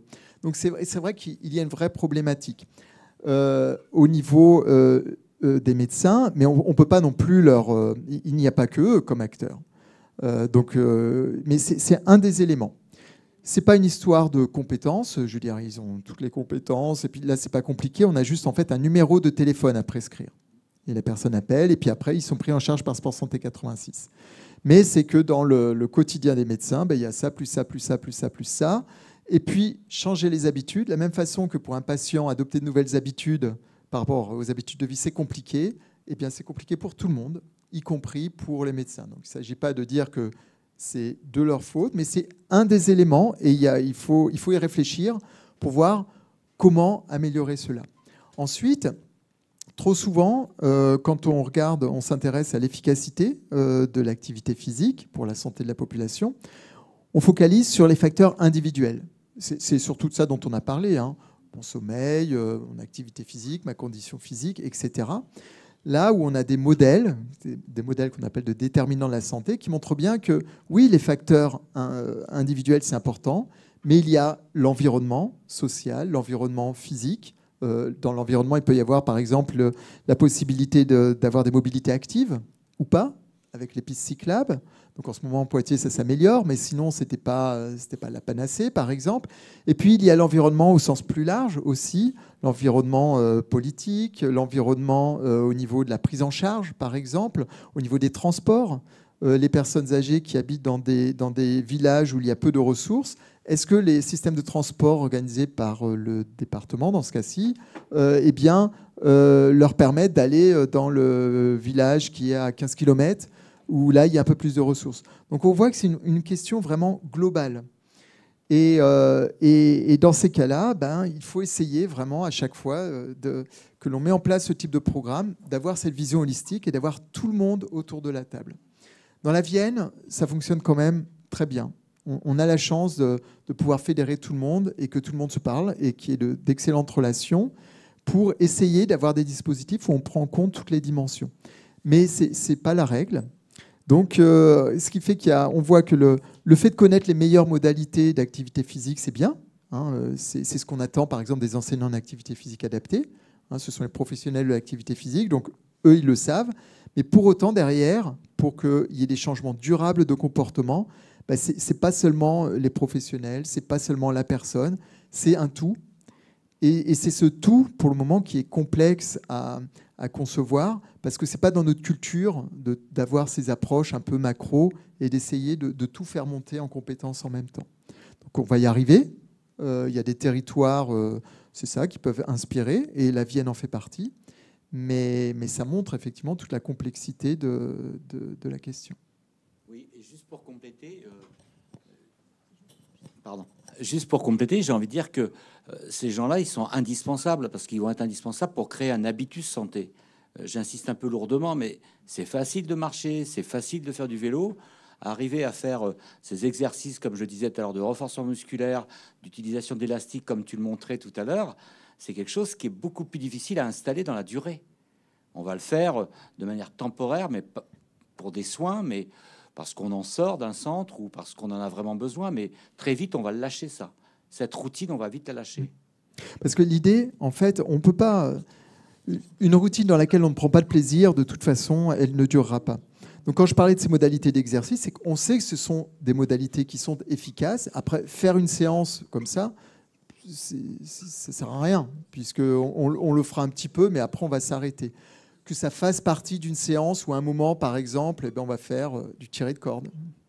Hein, si, euh, si on fait, euh, je ne sais pas pourquoi je pense à ça, mais un exercice où finalement c'est ce que l'on va faire sans y penser. On ne va pas nous donner une poignée, mais on va voir une situation jouée où on va retrouver cela. Ben on sait que ça peut contribuer. Donc c'est plutôt dans ce sens-là qu'il faut faire. Mais la clé, c'est vraiment d'identifier les modalités qui vont faire qu'on va prendre du plaisir. J'ai déjà dit tout à l'heure. Et c'est la seule clé, finalement, pour avoir des changements durables de comportement. Un autre élément, c'est aussi, on, a souvent des approches descendantes. On dit aux personnes, euh, voilà ce qui va être efficace pour vous, donc on fait faire. Alors qu'on sait très bien que le plus efficace, encore une fois, pour avoir des changements durables de comportement, c'est d'avoir des approches plutôt ascendantes. On sait ce qu'il faut faire dans l'idéal, on demande à la personne ce qu'elle veut faire. Si ce qu'elle veut faire, ce n'est pas l'idéal, c'est pas grave, au moins elle bouge. Et puis, petit à petit, après, on peut éventuellement y greffer autre chose. D'accord? Mais voilà, c'est des éléments comme ça qui ne sont pas encore dans notre culture, dans notre façon de faire, mais qui vont se développer. Hein, cette approche ascendante, être capable d'ajuster, etc. Je, reste sur le point numéro 3. Euh, est-ce qu'on peut espérer les mêmes effets euh, euh, lorsque l'on marche, lorsque l'on court, lorsque l'on nage ou lorsque l'on roule? À ton avis, est-ce que tu vois des différences? Alors en fait, la différence, elle tient pas. Si on regarde la différence physique, du moins, la, différence, elle tient pas au type d'activité, mais à la dépense d'énergie. C'est toujours cela. Les recommandations, c'est en dépense d'énergie. Donc ce que vont nous apporter les différentes activités physiques et sportives, c'est une dépense d'énergie. Et c'est évident que pour avoir la même dépense énergétique à la marche ou à la course, il va falloir marcher beaucoup plus longtemps. De la même façon qu'en marchant, on ne peut pas atteindre les intensités qu'on peut atteindre en courant ou éventuellement à vélo. Sauf si éventuellement on marche sur un tapis ou qu'on marche dans un, circuit qui est, qui est vallonné ou quand ça monte, là, c'est sûr que ça va être intense. Donc c'est plus une question de dépenses énergétiques. Il faut avoir de tout. Il faut avoir des dépenses énergétiques, euh, comment dire, où l'intensité va être modérée, mais on va faire longtemps, et des activités où on va avoir des dépenses énergétiques, où ça va être des pics on récupère, des pics, on récupère. Après, qu'on le fasse à vélo, qu'on le fasse en marchant, qu'on le fasse dans l'eau, l'important, c'est la dépense énergétique. Et l'eau, d'ailleurs, puisque tu en parles, peut être très intéressant. Nous, on a des travaux qu'on a publiés qui montrent que quand on fait des exercices à haute intensité chez des patients qui sont hyper tendus, eh bien, ça va diminuer de façon importante la pression artérielle dans les minutes et les heures qui suivent beaucoup plus que quand on fait un exercice continu. Si on fait cet exercice dans l'eau, eh on a un effet additionnel, parce que l'eau va induire un certain nombre de, réactions qui vont faire que déjà spontanément, quand on est dans l'eau, quand on ressort, on baisse un petit peu la pression artérielle. Et là, le fait de faire des exercices à haute intensité dans l'eau, si on compare aux mêmes exercices sur terrain sec, on va avoir un effet beaucoup plus important sur la pression artérielle et qui va durer plus longtemps.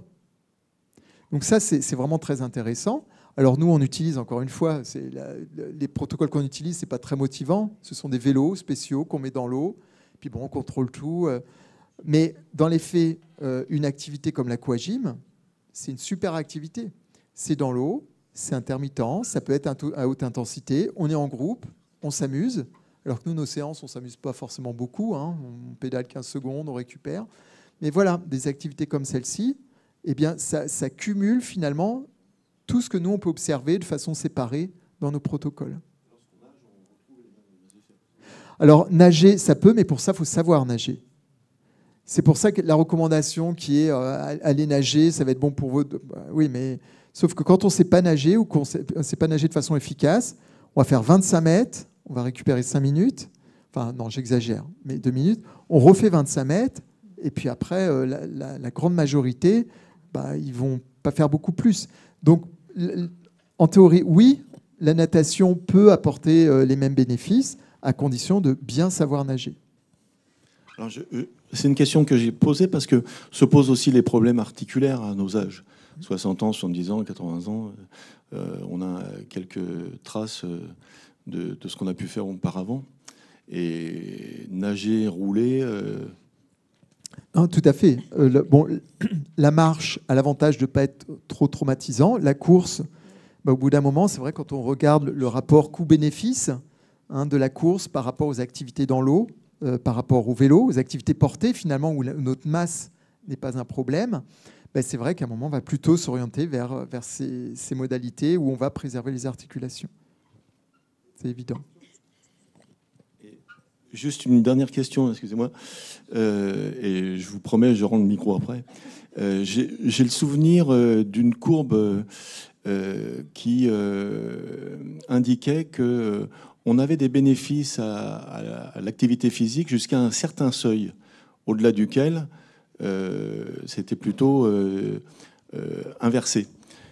Est-ce qu'on peut imaginer que cette courbe s'adresse également aux seniors, on va dire, aux plus de 60 ans Alors, cette courbe, oui, par un moment, euh, effectivement, on avait les, bénéfices en termes de santé.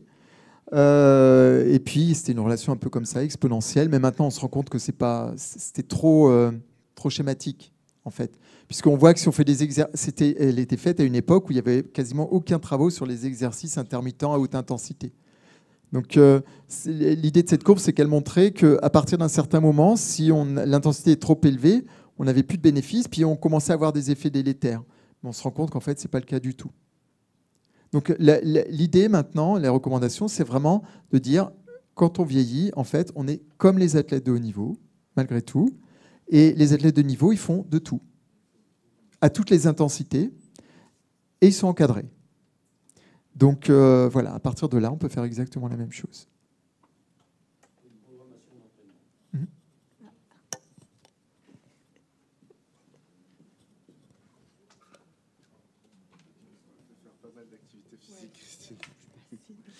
Euh, ju- justement, euh, ouais, juste une réaction euh, du côté de en Seine-Saint-Denis, il n'y a juste pas assez de piscines euh, par rapport au nombre d'habitants et habitantes, d'où le fait que, euh, comme vous l'avez dit, le caractère social, euh, Mm. sociétal peut jouer. Euh, ça, c'était juste une petite remarque. Donc, euh, les gens ne peuvent pas apprendre à, à nager. Et moi, ma question, c'était justement, vous avez cité les dernières études. J'ai l'impression qu'il y a une évolution. Mais que la, la recherche actuelle est en train de montrer que l'activité physique est très importante et qu'il faut en faire à tout âge, tout le temps. Euh, ça n'a pas encore ruisselé, entre guillemets, dans la société. Euh, les études datent de quand? J'ai l'impression qu'elles sont assez récentes. Et euh, il va falloir combien de temps avant que ce soit Ouais. diffusé? Alors c'est vrai que le, le niveau de preuve de l'efficacité du traitement activité physique, ben, il augmente de façon considérable. Maintenant, c'est un niveau considéré comme A, qui est le niveau le plus élevé en termes d'évidence scientifique. Et le, paradoxe que l'on observe, c'est que nos habitudes de vie se dégradent au fur et à mesure où le niveau de preuve sur leur importance et leur efficacité ne cesse d'augmenter. Donc c'est un paradoxe, c'est vrai pour l'activité physique, c'est vrai pour la nutrition, c'est vrai pour la plupart des le sommeil, c'est vrai pour la plupart des habitudes de vie. Donc c'est un paradoxe, et ce qui montre que il y, a- il y a une citation que, que je donne souvent aux étudiants, c'est que c'est une situation d'Anaximandre, qui était un philosophe euh, grec, et euh, qui disait qu'en fait enseigner ou éduquer, ça n'est pas remplir un vase, c'est allumer un feu. Et remplir un vase, ben, c'est ce que l'on fait la plupart du temps. C'est-à-dire qu'on donne des arguments pour dire Mais si, il faut faire l'activité physique, c'est important pour ça, c'est important pour ça, etc. Donc c'est très cognitif, en fait. hein. On essaye de convaincre euh, par ce type d'argument. Là où, en fait, éduquer, comme il disait, c'est allumer un feu, c'est créer une émotion. C'est pour ça que je parlais du plaisir. À partir du moment où il y a du plaisir, eh bien, là, on va être efficace. Et si ce qui, au début, ce qui va générer du plaisir, ça ne correspond pas aux modalités les plus efficaces, bah, c'est pas grave. Parce que de toute façon, entre ne pas bouger et bouger, il vaut mieux bouger de façon encore euh, perfectible, mais bouger quand même, plutôt que de rien faire. Donc euh, voilà, on, on a ce paradoxe. Une des origines de ce paradoxe, c'est justement qu'on est un peu euh, irrationnel, euh, quelque part, et qu'on a besoin, on est géré par nos émotions, tout simplement. Or, ça, c'est pas toujours pris en compte dans notre façon de présenter les choses. Et, euh, et c'est là où, quand je parlais de cette démarche ascendante, hein, il faut bien connaître les personnes et savoir ce qui va gérer ces émotions chez elles pour ensuite essayer de l'organiser. Eh bien, ça, c'est une des clés. C'est une des clés.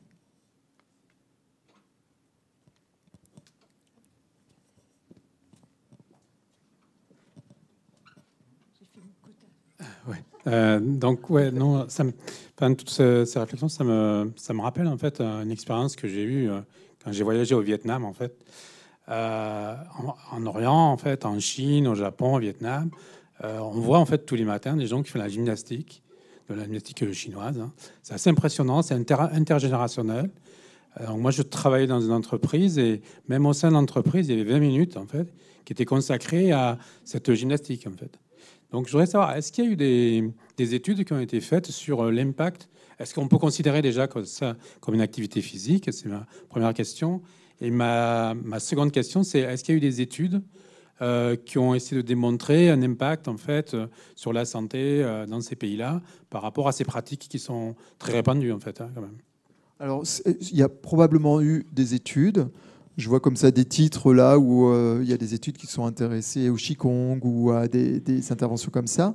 Euh, donc il y en a probablement, euh, je ne les connais pas. mais là, je pense qu'il faut, voir le tout. C'est-à-dire que certes, il y a cet aspect de gymnastique, donc ils vont travailler aussi beaucoup sur la respiration, sur bah, leurs sensations, etc. Et puis à cela vont peut-être s'ajouter d'autres habitudes de vie qui font que c'est un tout euh, qui va faire que bon, on va avoir une approche différente et puis peut-être une espérance de vie. Je ne connais pas du tout l'espérance de vie du Vietnam, mais au Japon, euh, où ils peuvent avoir aussi ce type d'approche, eh bien, c'est une espérance de vie qui est euh, un peu plus longue. Et il y a aussi des, vraies singularités sur l'alimentation, etc. Donc c'est un tout. Je pense on, doit certainement trouver quelques ou des études qui ont évalué cela, mais, mais voilà, ça s'inscrit dans un ensemble plus large. Donc il ne faudrait pas le décontextualiser. Mais, euh, bien sûr, y a, c'est une forme d'activité physique qui va avoir un impact également sur ce fameux système nerveux autonome, hein, notamment grâce à la respiration. Donc euh, ça peut être des stratégies très intéressantes. J'hésite à passer le micro à François, parce que je suis persuadé qu'il aurait euh, plein d'éléments de, de réponse à, vous apporter. Je ne sais pas si tu veux dire un mot, François, ou... Il est où? Je ne savais pas qui vous étiez. Non, comme vous voulez. Mais euh, oui, mais, mais euh, tout à fait. En tout cas, c'est vrai que tu as tendu la perche. C'est vrai que ce type, donc, euh, bah, ce, ce, type d'activité, François est maître shiatsu. Et puis, ce sont des types d'activités qui peuvent contribuer, c'est ça, à développer le bien-être, à améliorer la santé, et puis euh, qui s'inscrivent dans un tout également euh, cohérent euh, qui va faire qu'à un moment, ben, on va se sentir mieux. Donc ça fait partie, oui, des interventions qui peuvent être très intéressantes. Et dans les habitudes de vie, il n'y a pas seulement l'activité physique, l'alimentation, il y a aussi la gestion des émotions. Donc ça fait partie des, méthodes. Bah, ce qui est intéressant aussi, c'est la, place qu'a cette activité en fait dans le quotidien. C'est-à-dire que par rapport, effectivement, nous, des gens qui font du footing, des choses comme ça, mais, mais c'est pas tout à fait pareil parce que ça, ça, fait des repas en fait tout le monde. Là, c'est vraiment euh, des, choses qui sont faites par euh, euh, des gens qui ont 10 ans ou qui ont 85 ans. Quoi. Ils se retrouvent dans le même parc, dans le même jardin, pour faire en fait des activités physiques différentes. Hein. C'est pas du tout le même. Enfin, moi, ce que j'ai vu, hein, c'était pas très différent comme activité, mais c'était quand même un temps où tout le monde en fait faisait une activité physique. C'est vrai que c'est très culturel. Moi, à un moment, j'habitais donc à Montréal. Et euh, j'étais dans un quartier très multiculturel. Le quartier de la Côte des Neiges, c'est un des quartiers les, plus euh, multiethniques, multiculturels au monde. Euh, et, il y avait une super piste d'athlétisme. Donc moi, je faisais de l'athlé à l'époque. Et, j'habitais à 500 mètres, donc c'était le rêve. Une super piste d'athlétisme. C'était impossible de l'utiliser. Parce que il y avait, donc il y avait, je ne sais pas si c'était des Chinois, des Vietnamiens, en tous les cas, il y avait toujours du monde, euh, donc soit au milieu et puis ils faisaient la gymnastique le matin, euh, le soir, soit les personnes qui allaient faire les courses, eh ben, elles marchaient autour de la piste avec leur sac de course, et, puis après rentraient chez eux. Il y en a qui faisaient du vélo autour de la piste. Résultat, quand il y a les athlètes qui venaient, en fait, euh, bah, c'était des extraterrestres et on ne pouvait pas utiliser la piste. Mais c'était exactement la même chose. C'était différentes cultures, c'était intergénérationnel. Il y avait les grands-parents, les enfants euh, qui, eux, faisaient, le tour peut-être en jouant à autre chose, etc. Donc euh, oui, c'est une, autre culture. Mais, ça a l'avantage de combiner toutes les dimensions. On parlait de l'impact justement de, cet aspect social et qu'on n'obtient pas les mêmes adaptations, notamment au niveau cérébral, quand on est en groupe ou quand on est seul, notamment chez les personnes éventuellement euh, qui souffrent de dépression. Eh bien, euh, le fait de faire de, de l'activité physique peut aider parce que ça va jouer beaucoup sur le métabolisme de la sérotonine, qui est un neurotransmetteur impliqué dans la dépression. Mais le fait, en plus de le faire avec des relations sociales, eh bien, ça va être une sollicitation encore plus importante. Donc euh, là, c'est l'avantage de tout combiner. Je- regarde pas l'heure, Christine, mais euh, peut-être qu'il est. 10h15. Oui, il est-. Mais si, si vous avez d'autres questions, ça me fera plaisir euh, d'y répondre. Voilà, on a encore un petit quart d'heure. si Parce que finalement, on a, on a, on a quasiment abordé euh, la, la plupart des thèmes, soit de façon directe, soit de façon euh, indirecte. Mais si vous avez d'autres questions sur éventuellement des idées reçues que l'on n'aurait pas abordées, sur, euh, sur la préparation des Jeux Olympiques, par exemple, ou sur d'autres thèmes, ça me fera plaisir. Euh, Quand vous parlez d'activité euh, intense ou modérée, euh, c'est par rapport à la, la fréquence cardiaque, j'imagine, mais cette fréquence cardiaque, est-ce que l'ancien système, enfin que moi je connaissais, c'est 220 moins âge, est-ce que c'est toujours pertinent ou est-ce que depuis on a fait des, on a, on a progressé par rapport à cette évaluation? Alors, je ne sais pas si on a progressé, mais en tout cas, ce que l'on sait maintenant, c'est qu'on ne peut pas estimer la fréquence cardiaque maximale.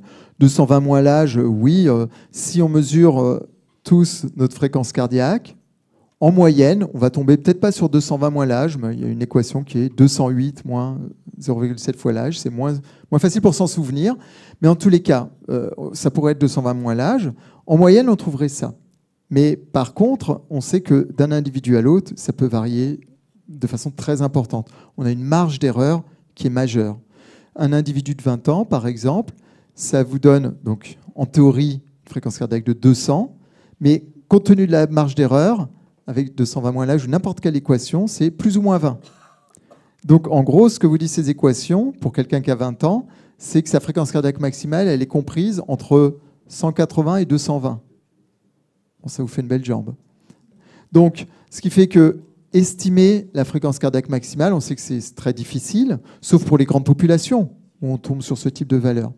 Là où on, euh, a progressé, si je puis dire, c'est que bah, maintenant on a des, des méthodes plus précises pour utiliser la fréquence cardiaque. On ne va pas partir de la fréquence cardiaque maximale, mais chacun, par exemple, au cours d'un échauffement un peu standardisé, va pouvoir avoir sa propre courbe de fréquence cardiaque. Et puis à partir de là, on va dire, ben voilà, si vous voulez faire un, exercice continu à 50%, il faudra être à peu près dans telle zone, euh, etc. Donc on utilise ces courbes finalement pour après donner les fréquences cardiaques cibles et on ne fait plus en pourcentage de la fréquence cardiaque maximale.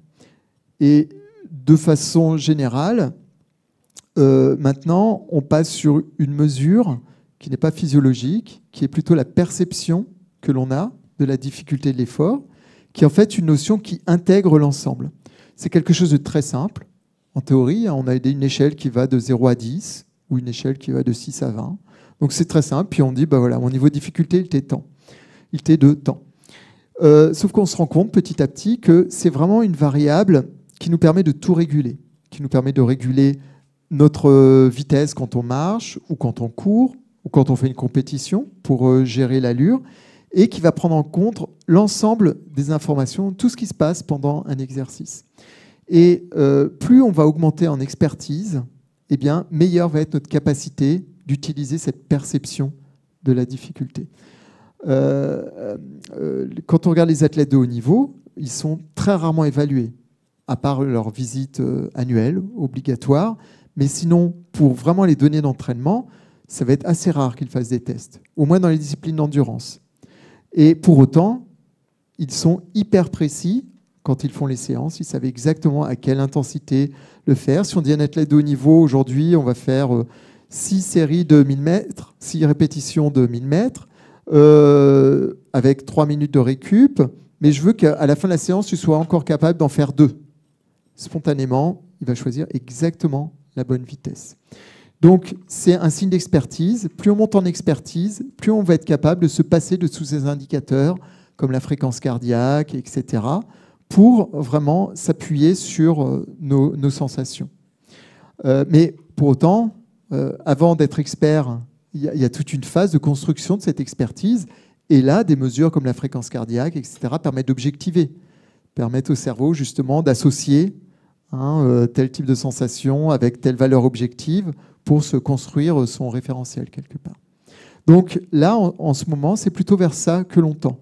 Donc bien sûr, il y a toujours des nouveaux modèles de mesures de fréquence cardiaque qui sont plus ou moins précis, euh, surtout les derniers, hein, vous savez, ce sont des petites lumières, ça s'appelle la photoplédismographie, sous la montre, qui ont remplacé les électrodes.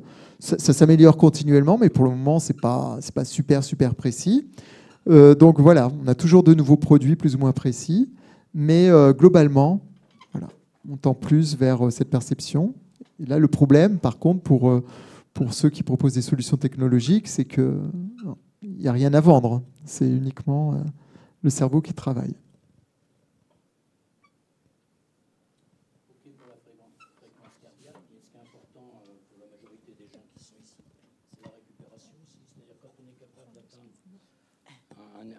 de, pas de performance, mais d'effort. Euh, moi, je sais que je monte assez vite, assez haut. Euh, je ne dois pas raisonner comme quand j'avais 25-30 ans euh, sur ma récupération. Ça va demander plus de temps, donc là, il faut qu'on soit vigilant. Faut que... Alors, il y a, la récupération, on peut l'avoir de deux façons. On peut l'avoir au cours de la séance, hein, entre les efforts, et on peut l'avoir entre les séances. Donc là, toi, tu pensais à, laquelle en particulier? Bah, Disons que tout à l'heure, quand le monsieur posait la question de, par exemple, de faire du fractionné. Euh, Alors, si, on prend le fractionné, par exemple, euh, le, la, clé quand on vieillit, une des. Alors, tout le monde n'est pas concerné, hein, euh, mais malgré tout, un certain nombre de personnes, quand elles vieillissent, vont avoir un peu plus de plaques athéromateuses, donc autour des artères coronaires ce qui, ce qui diminue le, le, flux sanguin. D'accord? Quand on fait un effort à haute intensité, ce qui peut se passer, euh, mais qui n'est pas du tout systématique, c'est que finalement, on va avoir une augmentation importante du débit, donc de la quantité de liquide qui circule dans un tuyau qui est d'un peu moins bonne qualité ou qui, qui, est retréci. Et là, à un moment, ben, ça peut se boucher. D'accord? Donc, dans ces cas-là, quel type de récupération? Ben, On a pu montrer chez des personnes qui souffraient de maladies coronariennes, qui n'étaient qui pas stabilisées. C'est-à-dire que la plaque pouvait éventuellement se décrocher, ils étaient ischémiques, ils pouvaient voilà, avoir l'artère qui se bouche. Eh bien, c'est que c'est le même principe que pour l'avant-bras. C'est-à-dire que quand on fait des efforts qui sont courts, on a une augmentation importante de sang, donc mon artère là, va se boucher. Pendant la récupération, nous, on utilise toujours des récupérations passives. La personne ne fait rien. D'accord? Ben, Du coup, ça se débouche. Je rebouche, ça se débouche. Au bout de deux minutes, euh, on avait des participants. Alors heureusement, on était entouré de cardiologues et on était dans un environnement très très euh, sécurisé. Euh, et au bout d'un moment, bah, il commence à y avoir de la douleur au niveau de la poitrine. On a certains segments au niveau de l'électrocardiogramme qui commencent à décaler vers le bas, ce qui est un, mauvais signe. Généralement, on arrête. Et puis au bout de cinq minutes, six minutes, tout d'un coup, tout se normalise. Et c'est exactement comme pour l'avant-bras, comme je vous disais tout à l'heure. L'artère se bouge, se débouche, se bouge, se débouche. Je libère cette fameuse molécule qui est vasodilatatrice, hein, qui va dilater les artères, et après, ça va être systémique. Et nous, on avait des patients, on a des études où on arrêtait les patients au bout de 35 minutes. Pendant 35 minutes, ils faisaient 15 secondes à 100%, 15 secondes de récupération passive, et ils enchaînaient.